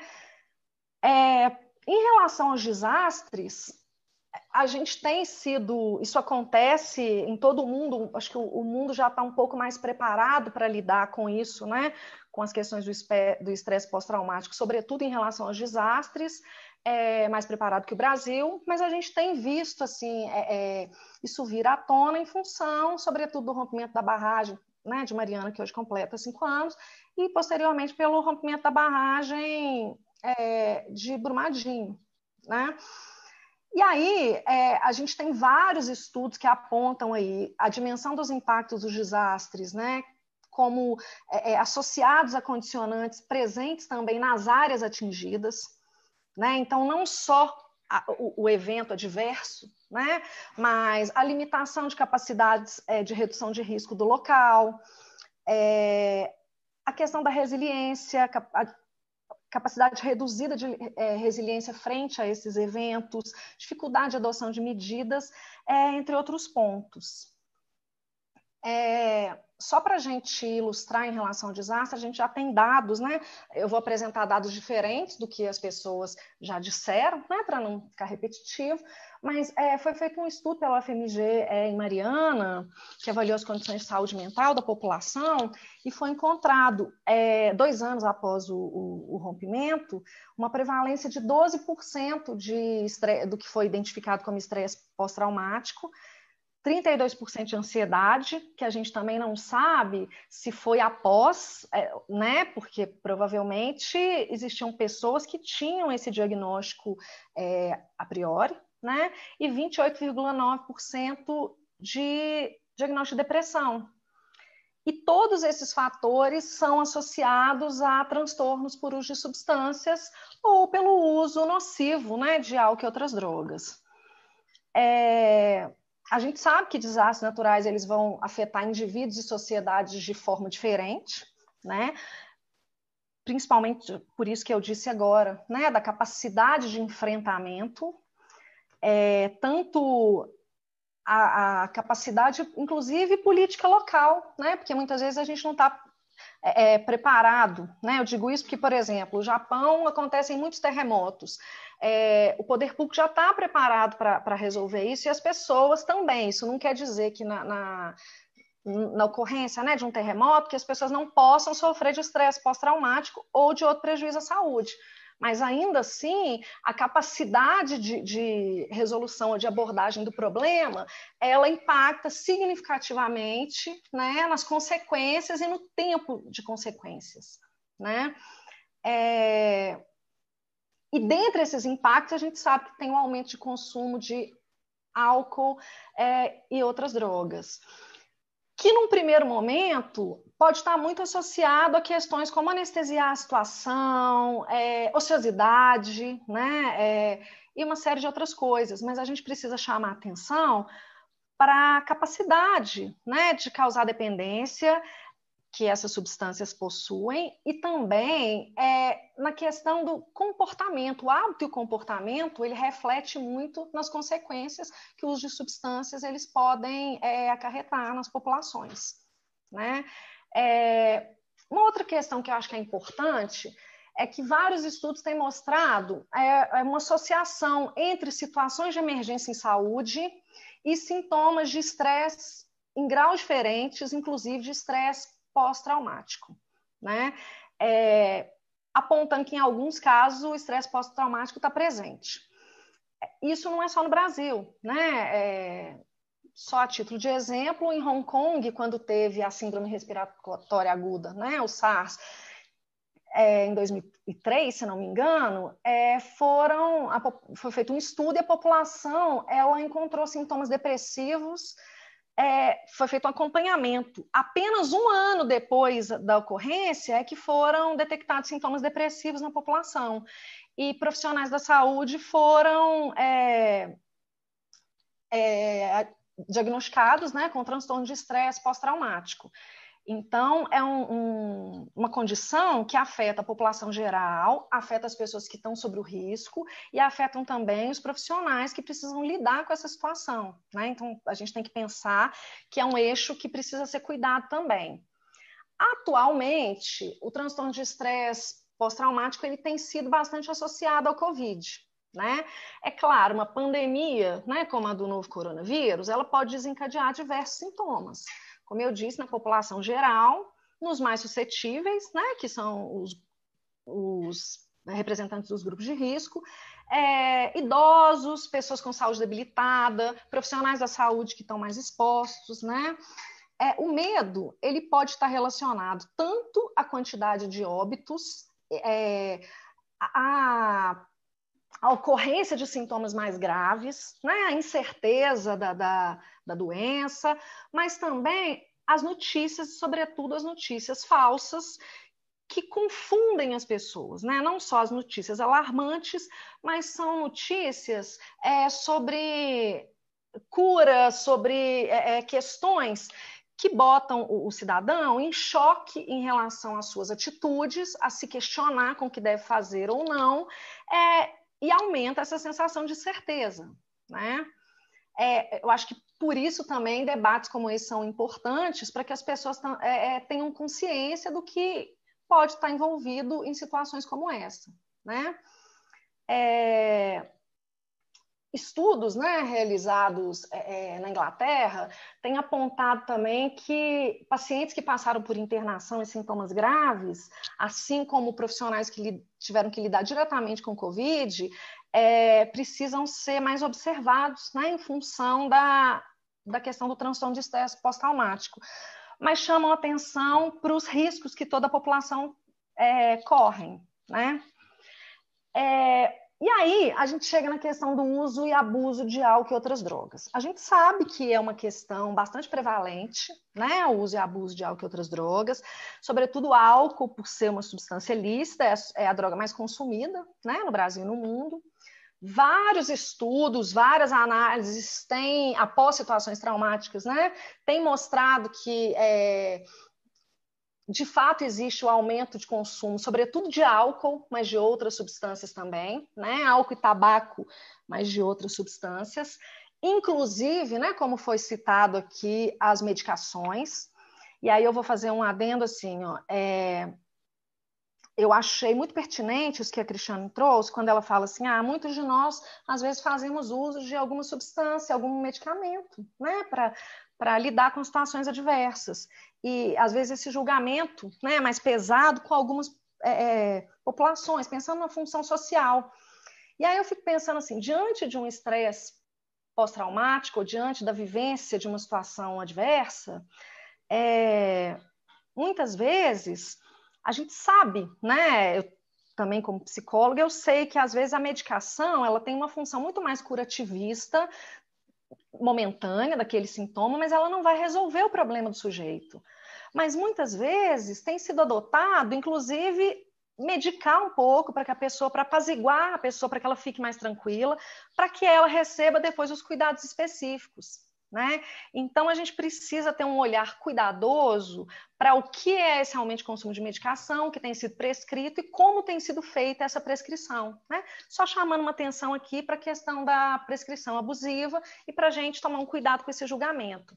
O uso de tabaco e outras drogas, ele vai interferir no contexto bio, é, biopsicossocial dos indivíduos também, né? que vai favorecer a exposição de situações de risco. Então, é importante a gente pensar como o, o, consumo de álcool e outras drogas ele está aí frente a situações que podem desencadear o estresse pós-traumático, né? Porque ele pode retroalimentar ali é, essa situação. Talvez seja por isso que é, o abuso dessas substâncias e o problema, né, os problemas associados a esse abuso apareçam a longo prazo, né? Porque esse hábito, esse comportamento pode ser retroalimentado e isso pode gerar um impacto no futuro, tá? É, e aí, tanto, né, eu queria pontuar que tanto as situações traumáticas quanto o uso de abuso de álcool e outras drogas podem comprometer a capacidade de resiliência, como foi dito também aí mais cedo. E aí eu só queria lembrar como a resiliência é um conceito importante, porque a resiliência é, é ela que vai moldar um pouco as nossas reações e vai nos ajudar no enfrentamento das situações adversas. Porém, é, estudos também apontam que quem não tem vivência em situação adversa é, tem menor capacidade, ou quase nula, de resiliência. Porque o que acontece? A gente vai tendo enfrentamento de situações e a gente vai aprendendo a lidar com elas. Então, eu fico pensando assim, quando a gente está pensando em políticas públicas, né, quando a gente está dizendo de políticas públicas, na importância que tem a prevenção e na importância que tem falar dos assuntos. É importante que a população saiba os riscos, né? E que a gente aborde é, é, essas situações para que as pessoas vão adquirindo uma capacidade de reagir a situações adversas, né? É, só para contextualizar o cenário, no contexto da pandemia de Covid, é, pesquisas de mercado indicaram assim, ó, que e aí eu vou ilustrar com medicações como vitamina C e vitamina D também, né? Porque isso tudo aumentou. 180% na venda de vitamina C e 35,6% na de vitamina D só nos três primeiros meses do ano no país, né? 40% no aumento de venda de medicamentos para insônia, e aí quando a gente chega em medicamentos para insônia né, e ansiolíticos, a gente está dizendo de medicação prescrita, e 15% na venda é, de ansiolíticos. Né? Talvez esse, esses 15% estejam exatamente dizendo um pouco que pode ter sido agravado em pessoas que já tinham alguma questão psíquica, né? Nem sempre as pessoas que estão cometidas por transtornos, é, é, né, por sintomas em saúde mental, é, é, podem ter sido agravados, mas eles não começaram por causa da, da, né, dos eventos adversos. É, em relação ao álcool, é, as distribuidoras né, relatam que houve um aumento de venda de 38% até o mês de julho, isso, tá? Nas lojas de conveniência, 27% esse aumento e 20% no crescimento de deliveries de bebidas alcoólicas. Né? É, também tem os dados apresentados pela professora Débora Malta em relação aos 18% no aumento de consumo de álcool é, do estudo Convide. Né? Talvez, né, eu acho que também por isso, a Organização Mundial de Saúde, ainda em abril, tenha recomendado que os países limitassem a venda dessa bebida, né? Porque, paralelo a essa questão, né, que foi apontada pela professora Débora, dos sintomas de é, insegurança que as pessoas associaram esse aumento de consumo, a gente ainda teve as notícias muito, tava, que estavam sendo veiculadas de que o, a ingestão do álcool poderia matar o vírus, né? Então, as informações equivocadas também prejudicam o consumo. É... E aí eu estou dizendo isso porque sintomas de estresse pós-traumático, eles podem aparecer, como foi dito, né, a curto, médio e longo prazo. Se eu vou mediando o meu comportamento e nesse período, né, eu vou desenvolver sintomas de estresse pós-traumático, eu posso tentar é, apaziguar para mim, resolver para mim essas questões, esses sintomas, com é, o que eu tenho no momento, né? com o meu, o meu contexto ali atual. Então, se eu estou fazendo mais uso de álcool, muito provavelmente é, eu vou dar continuidade a esse comportamento, eu vou, eu vou começar a ver ali a, o álcool como uma possibilidade, por exemplo. Né? É, nesse sentido, é, ações preventivas, elas têm, a gente, a gente, precisa ter o cuidado e a gente precisa tratar as pessoas pós é, situações adversas, né? Mas ações preventivas têm sido as mais recomendadas para evitar problemas decorrentes dessas situações, né? Incluindo ações de promoção de saúde, como foram muito bem citadas aí pelo professor Rony, né? Só que nesse sentido, quando a gente está falando de políticas públicas, a gente precisa identificar de fato as vulnerabilidades, né, para que a gente faça um planejamento de políticas públicas baseadas em evidências. É, lembrando que eu estou chamando de vulnerabilidade aqui, a propensão né, de determinado indivíduo, população ou sistema de sofrer impactos negativos a partir né, da exposição a determinadas situações de risco. E aí, a vulnerabilidade associada ao uso e abuso de álcool e outras drogas vai englobar múltiplas dimensões da vida de uma pessoa, né?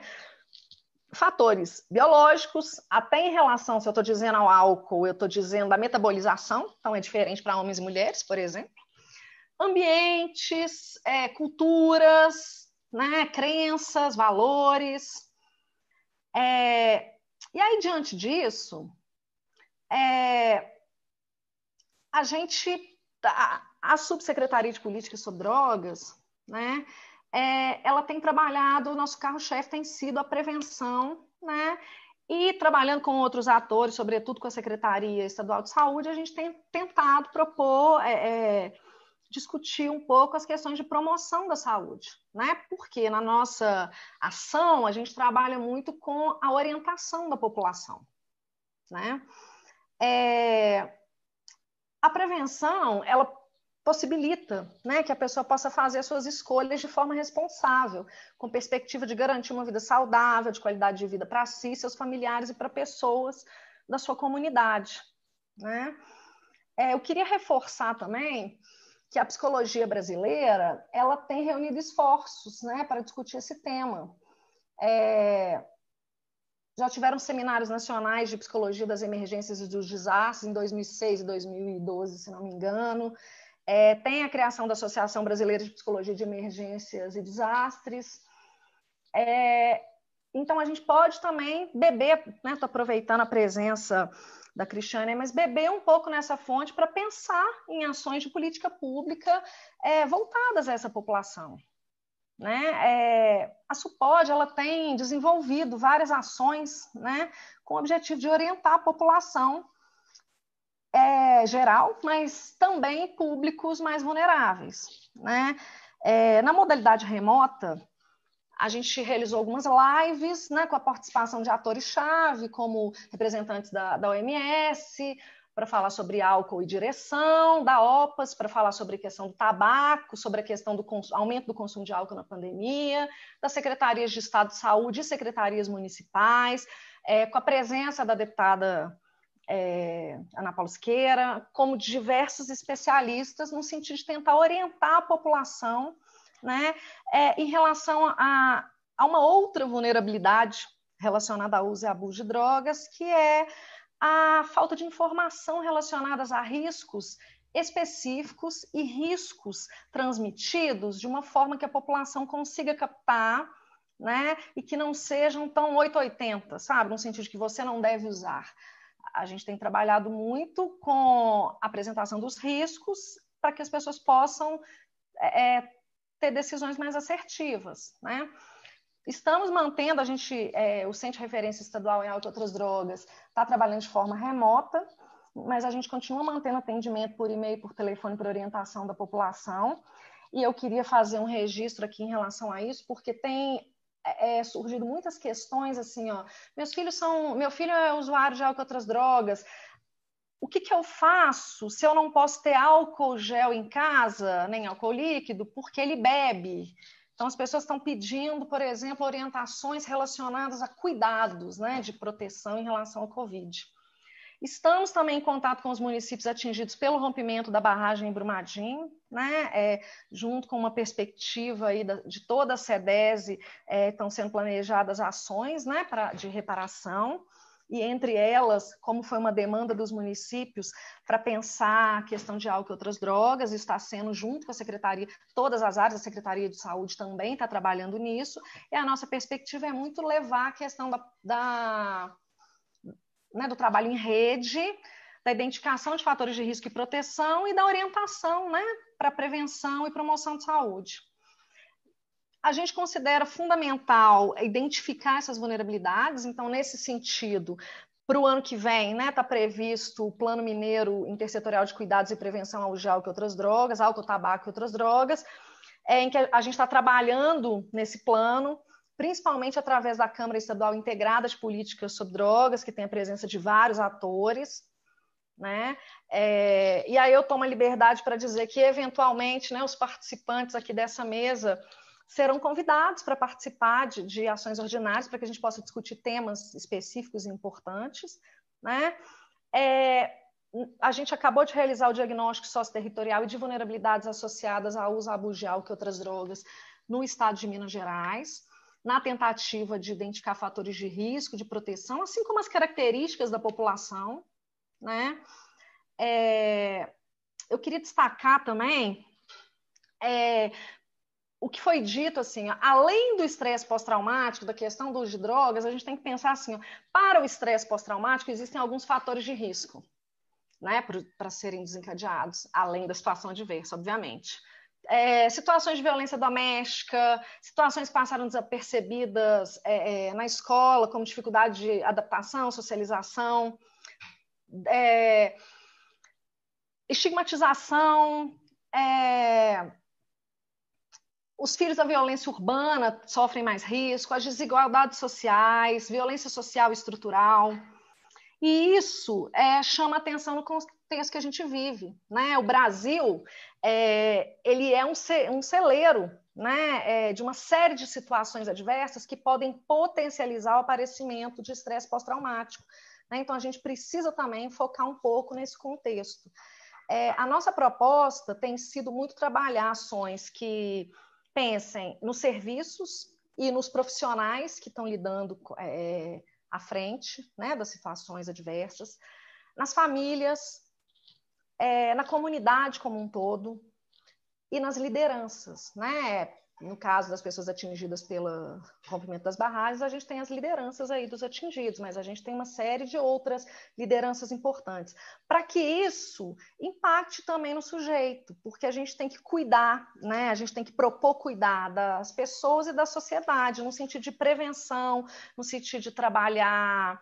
É, habilidades sociais, de estimular resiliência, resgate da cidadania, suporte social, vínculo familiar, tudo que possa ajudar na prevenção, tá?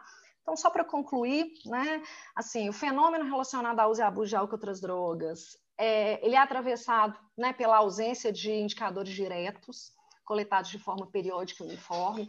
Então, é muito difícil a gente falar a gente tem, às vezes, pontualmente, que o consumo de uma substância ou outra aumentou, mas isso ainda é muito difícil para a gente extrapolar para o Estado, como Minas Gerais, que é enorme, ou para o Brasil. A vulnerabilidade associada ao uso de álcool e outras drogas está ligada a muitos aspectos sociais, é, é, muitos aspectos, né, como sociais, econômicos, é, habitacionais e, e contextuais, inclusive situações adversas, que também podem desencadear estresse pós-traumático. No estado de Minas Gerais, né, existem muitas disparidades é, sociais, principalmente, mas geográficas, inclusive, que podem dificultar a universalização de políticas públicas, sobretudo em razão é, é da extensão territorial mesmo, né? São 853 municípios, Minas Gerais é um estado muito grande. É, nesse contexto da pandemia de Covid, muito tem, muitos né, têm sido os nossos desafios para o desenvolvimento de políticas públicas, né, para fazer chegar até os municípios. E aí eu fiquei pensando assim, ó, diante né, da compreensão de vários fatores de vulnerabilidade, de tudo que foi apresentado até aqui, né, é, cada vez fica mais evidente a necessidade de políticas públicas baseadas em evidências, mas que trabalhem de forma intersetorial, que é uma palavra é, não só difícil né, de, de, falar, nossos corretores aí, nem a gente tem que colocar, incluir no dicionário, porque geralmente eles não reconhecem, é, mas é, uma, é, difícil de executar, né? principalmente porque a gente tem que lidar com emergências cotidianas que dificultam reuniões de alinhamento, entre outras. Né? Além disso, para a efetividade né, de políticas sobre álcool, tabaco e outras drogas, é, num contexto que é tão dinâmico né, e tem que considerar fator de risco, proteção, a gente sugere assim, que para essa intersetorialidade funcionar, a gente pense em pontos comuns, né, porque eu acho que aquilo que difere as diversas áreas a gente já sabe, mas a gente tem que pensar no que nos aproxima para que a gente possa trabalhar em conjunto em prol da população. Né? Então, encontrar pontos, pontos comuns, que são abordagens específicas por idade, gênero, pensar na prevenção, na promoção, o que nós podemos nos ajudar, né? pelos dados que a gente tem né, coletados. É, categorizar as características específicas por áreas populacionais para a gente identificar mesmo para que público a gente pode é, é, trabalhar junto, né? A identificação de parceiros, então, é fundamental, né? E nesse sentido, eu queria dizer que a política, é, é, a Subsecretaria de Política sobre Drogas, né, ela conta muito com o apoio de todos vocês, né, para que a gente possa trabalhar e também estamos disponíveis para trabalhar em conjunto. É isso. Queria agradecer, né, mais uma vez e é isso.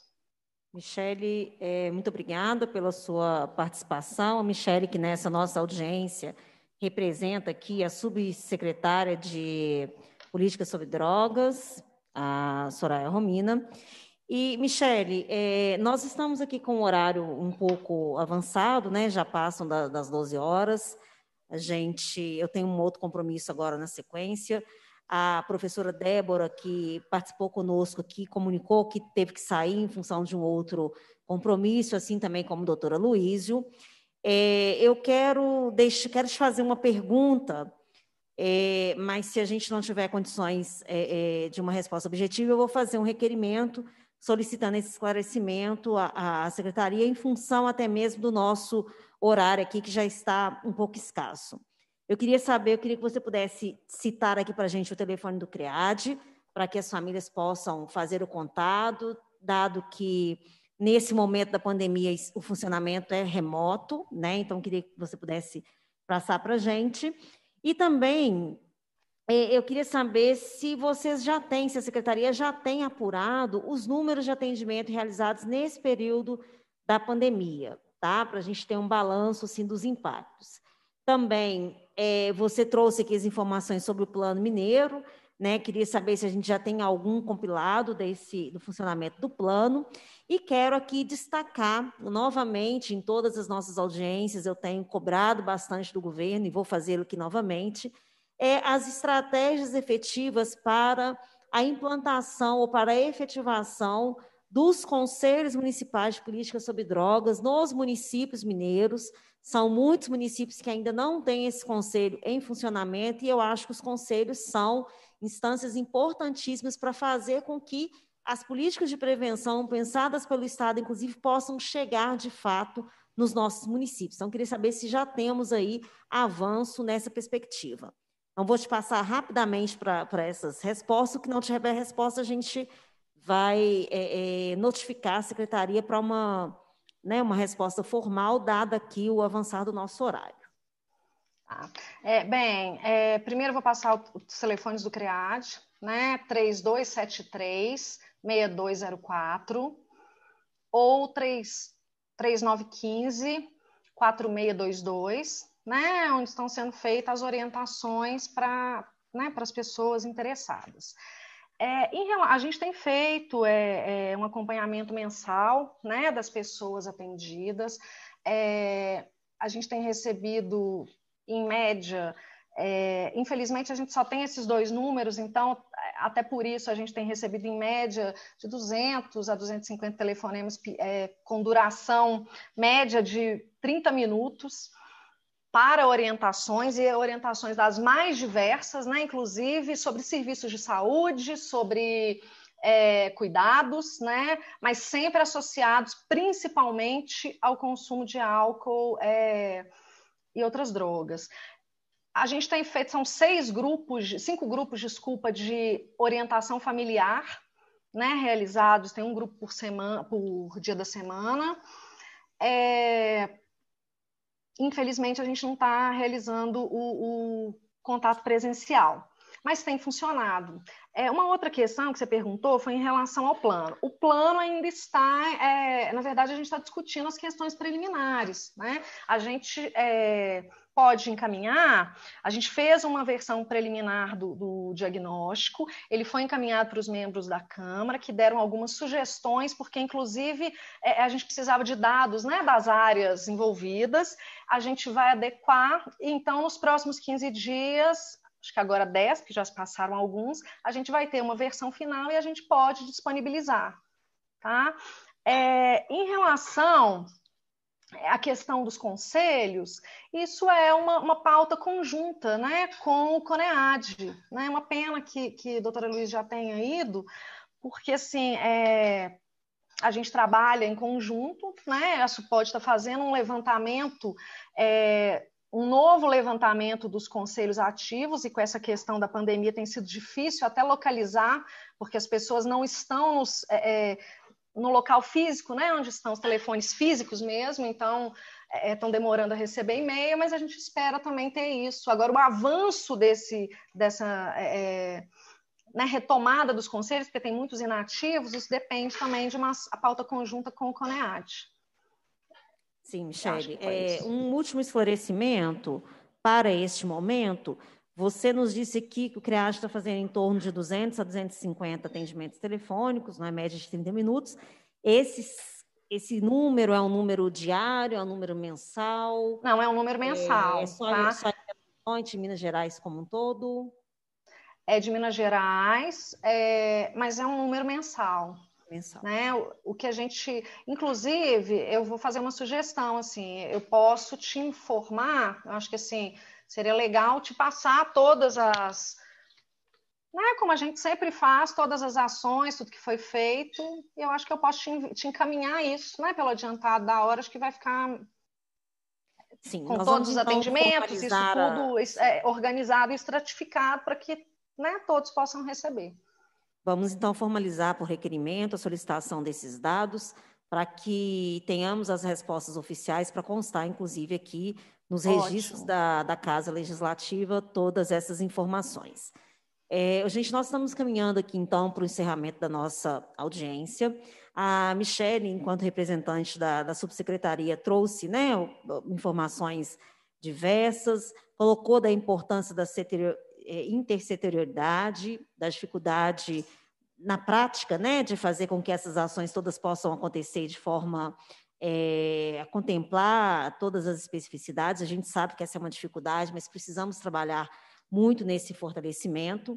Eu quero destacar aqui mais uma vez a riqueza desse nosso debate nessa manhã. Contamos aí com a presença é, da professora Débora Malta, do doutor Luísio Andrade, do professor Rony Las Casas, da é, representante do Conselho Regional de Psicologia, Cristiane Santos no, Souza Nogueira, e também da representante da SEDESE, a Michele da Costa.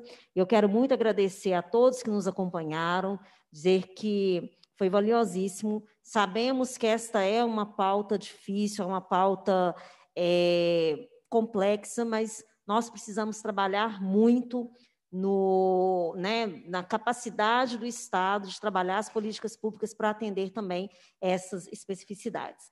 Eu quero dizer que, diante dos estudos apresentados aqui pela professora, é, pela Cristiane e também pelo professor Rony, Nós sabemos que já há muito acúmulo de informação e nós precisamos nos antever à necessidade da nossa população. É nesse sentido que eu quero aqui também convocar o Estado a nos ajudar a antever, né, a antecipar essas necessidades e ofertar realmente à nossa população saídas estratégicas para diminuir, inclusive, os impactos em outras áreas.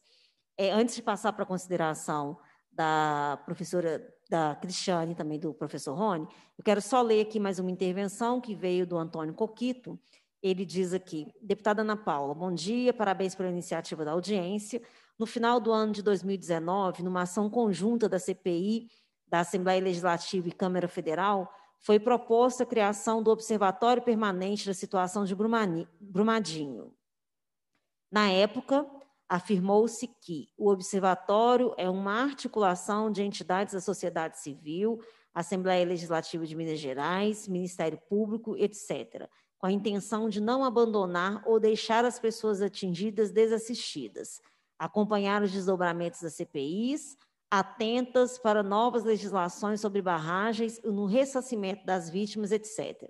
O que a senhora pode dizer do Observatório Permanente da Situação de Brumadinho? É, eu digo, Antônio Coquito, que essa foi uma resolução tomada né, no final do ano passado, mediante todo o trabalho muito bem feito pela CPI aqui na Assembleia Legislativa de Minas Gerais, comissão que eu acompanhei toda a tramitação. E a gente, esse observatório, ele ficou é, sob a responsabilidade do Ministério Público, que é, teriam feito, teria, né, marcariam em algumas reuniões para fazer esse acompanhamento. Eu posso dizer aqui que eu sei que o Ministério Público desenvolveu algumas ações nesse sentido. Infelizmente, a pandemia nos impediu de fazer um encontro presencial, né, de dar sequência a esses trabalhos, mas eu também já vou preparar aqui algum requerimento no sentido da gente é, tomar conhecimento das ações que foram feitas, é, quais as identificações foram feitas, para que possamos propor outras ações aqui também na Casa Legislativa. De todo modo, eu quero aqui destacar a importância é, desse, desse lembrete, né, dessa ponderação do Antônio, porque o observatório tem também como sentido diminuir os impactos dessas tragédias na vida de tantas pessoas. É, só um momentinho, por favor. Sim, eu vou passar aqui brevemente, gente. Hoje vai ser assim, bem rapidamente mesmo. Aproveitar que a Michelle já fez as suas considerações, vou passar aqui para a Cristiane e para o professor Rony é, fazer uma palavra de despedida, né? Estão todos com o horário já é, bem reduzido, mas para a gente fazer brevemente aqui o encerramento. Cristiane e depois Rony. É, eu quero agradecer, Ana Paula, novamente, né, pela, pela oportunidade, né? Assim, achei o tema bastante pertinente e inquietante. E reitero, né, em nome de todos os conselheiros e conselheiras do CRP 04, a nossa parceria, a nossa vontade de continuar construindo conjuntamente com o Poder Legislativo e o Poder Executivo. Obrigada, Cristiane. Professor Rony.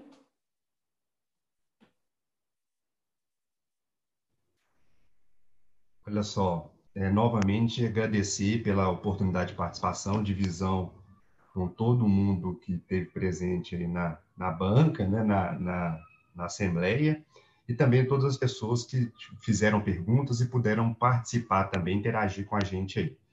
É, só a informação final, assim, colocação final, essa visão que a Michelle reforçou novamente, né, que todo mundo pontuou, a gente precisa trabalhar de forma integrada também, tanto entre as profissões e entre as políticas. É só reforçar isso novamente. E assim, e parabenizar, viu, Ana? Principalmente a nossa relação de amizade, pelo convite, né? Por toda essa confiança aí para a gente explanar um pouco sobre essas questões, né? E poder discutir isso com a sociedade, né? De forma tão ampla através das redes sociais aí. E também, Ana, queria deixar um agradecimento especial para você pelo belo trabalho que você tem feito como legisladora, tá? Como deputada. Você tem me dado muito orgulho primeiro pela escuta dos usuários, né? E depois pela escuta, né? É, também e fazendo, né, com que as políticas mesmo cheguem de, mediante as necessidades da população e não só o interesse de algumas pessoas que a gente sabe que é, muitas vezes tem esse objetivo quando entra aí na Assembleia Legislativa. Mas, novamente, querer deixar meu agradecimento para você por colocar temas tão relevantes que são cada vez mais importantes para a saúde e para o desenvolvimento da nossa população aí, tá bom? Grande abraço e obrigado novamente pela oportunidade e deixar que eu estou sempre disponível que precisar de mim aí, tá bom? Um abraço. Obrigada, professor Rony. É, é, né, o meu compromisso social aqui de fazer desse espaço é, do Parlamento, da Assembleia Legislativa de Minas, um espaço de construção para uma sociedade melhor, justa, igualitária e para todos. Eu vou fazer a leitura dos três requerimentos que retiramos aqui na audiência, mas eles ficarão para aprovação na próxima é, reunião da comissão é, que será convocada em, breve. É, a deputada que subestabelece, subscreve, requer a Vossa Excelência, nos termos do artigo é, 103, terceiro do regimento interno, seja encaminhado ao Ministério da Saúde pedido de providências para que envie ao Congresso projeto de lei modificando a lei número 9.294 de 1996 para que as bebidas potáveis com teor alcoólico inferior a 13 graus é, gailaços, como a cerveja, sejam consideradas bebidas alcoólicas e se submetam a restrições de suas propagandas no termo da lei. Requer também, próximo requerimento, que seja encaminhado ao Procurador-Geral de Justiça do Ministério Público do Estado de Minas Gerais pedido de informações sobre a implementação do Observatório Permanente sobre a situação das barragens para acompanhar as ações relativas à recuperação das comunidades e do meio ambiente de Brumadinho, de Mariana e de outras barragens, conforme sugerido no relatório final da CPI de Brumadinho, na Câmara dos Deputados.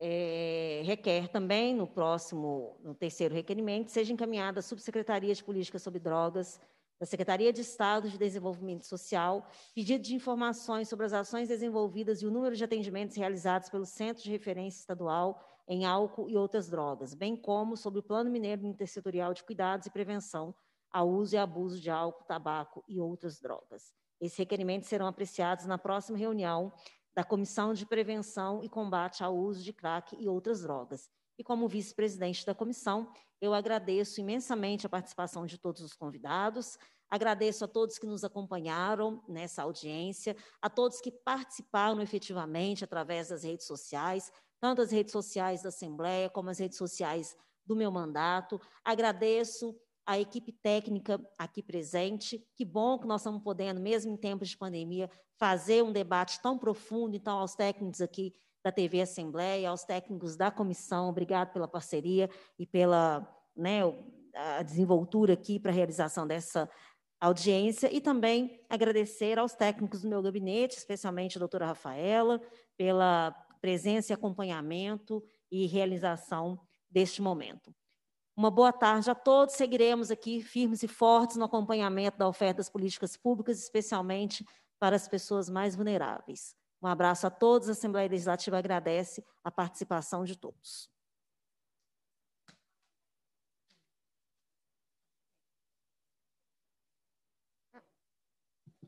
Bom, formalidade, gente. Rony, deputada Cumprindo agora a formalidade da audiência. Cumprida a finalidade da reunião, a presidência agradece a presença dos, dos parlamentares, dos convidados, determina a lavatura da atra e encerra os trabalhos.